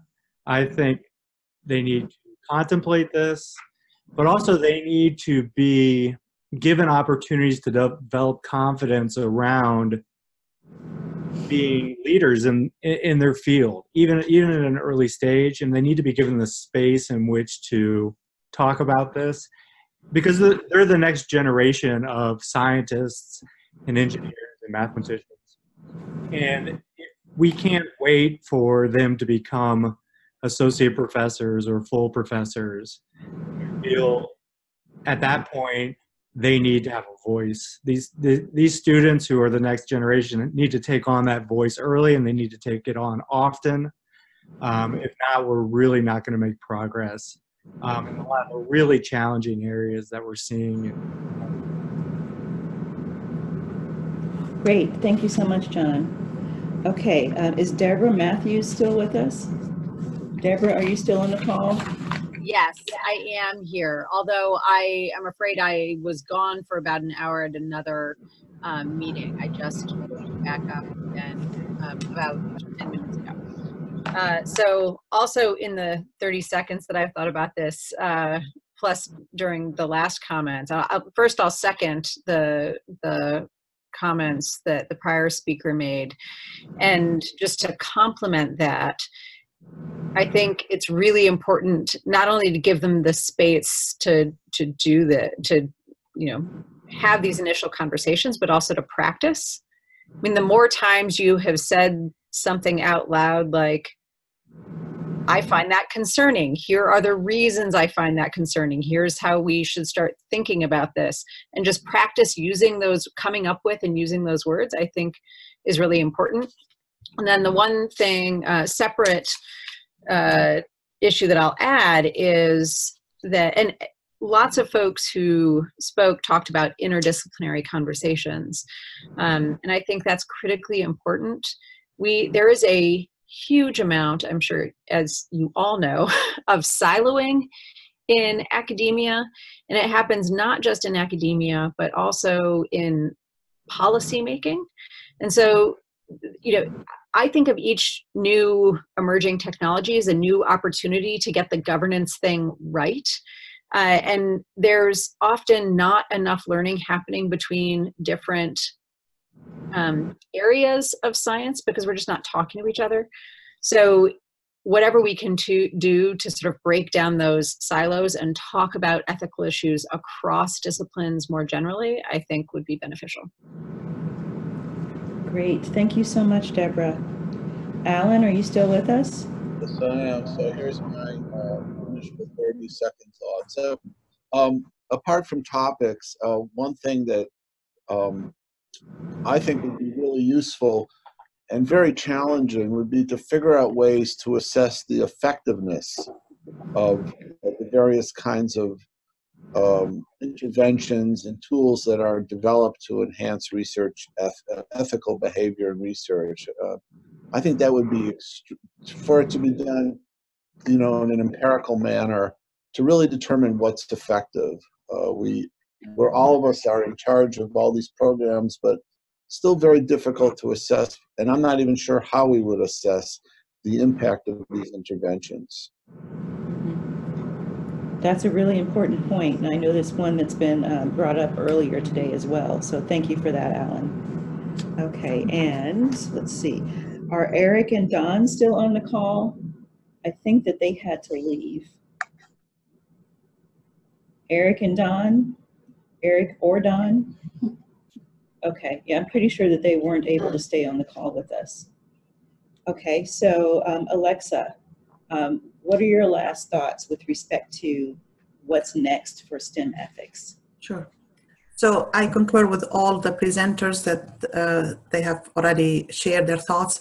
I would add, um, uh, we as educators, we need to emulate ethical behavior. So when I uh, I heard one of the presenters talking about uh, a faculty who um, misrepresent data and there were you know so many publications that they have to be um, uh, retracted and all that um, we need to make sure that we we are um, uh, working in a ethical setting ourselves and also i would like to uh, to encourage uh, other STEM ethics uh, faculty and and uh, and people to uh, disseminate notion to non-STEM uh, students and population. It's very important to uh, to disseminate our information.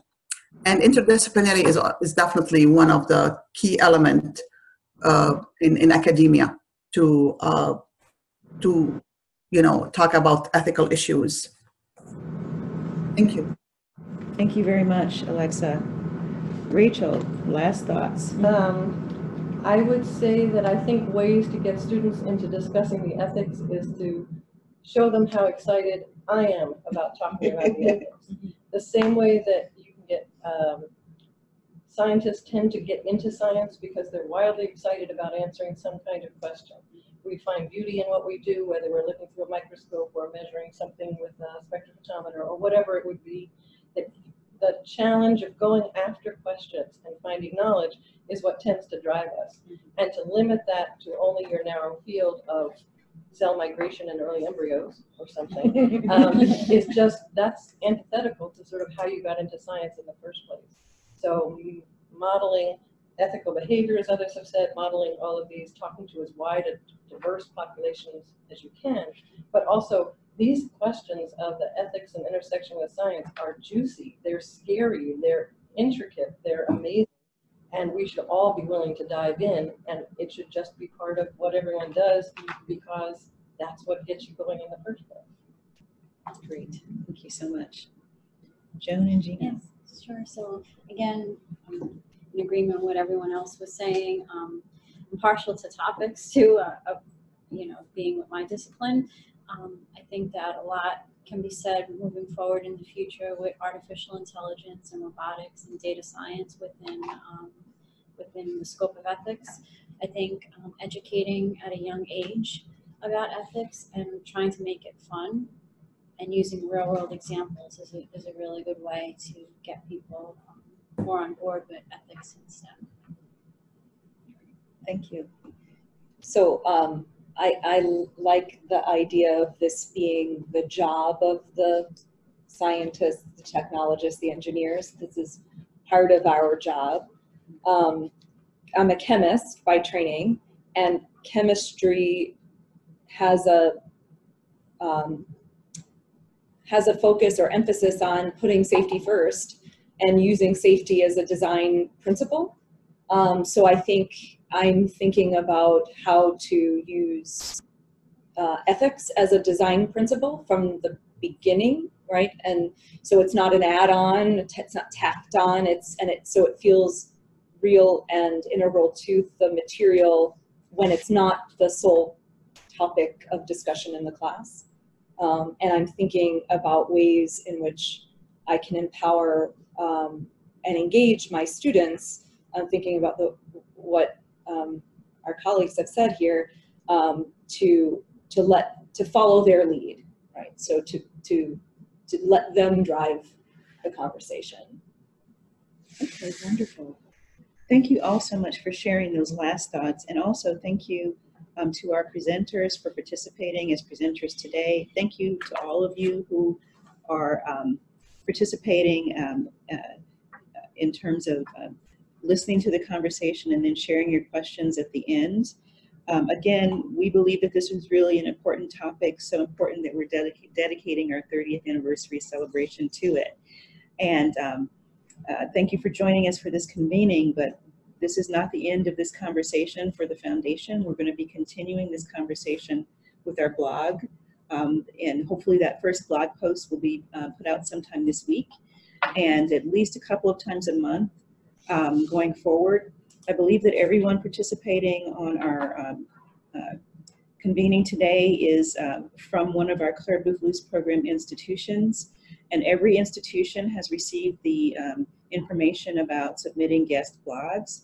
So if this stimulated something um, in terms of an interest in writing a blog post for us, please reach out to us. We'd love to hear from you and, and talk about your idea for a blog post. And um, again, uh, we really appreciate your taking the time. We think this is such an important topic um, that we wanted to get um, this information out to everyone um, to enable you to think about um, the ways that other institutions are addressing these issues and maybe even um, help you to think about how some of the some of this work can be done on your own campuses, but also in terms of reaching out to the public, to the next generations of scientists, to your students, um, and to your coworkers, your, your fellow faculty members, and your um, institutional leaders as well on your campuses. So thank you again for participating. Have a great afternoon. Bye-bye. Thank you.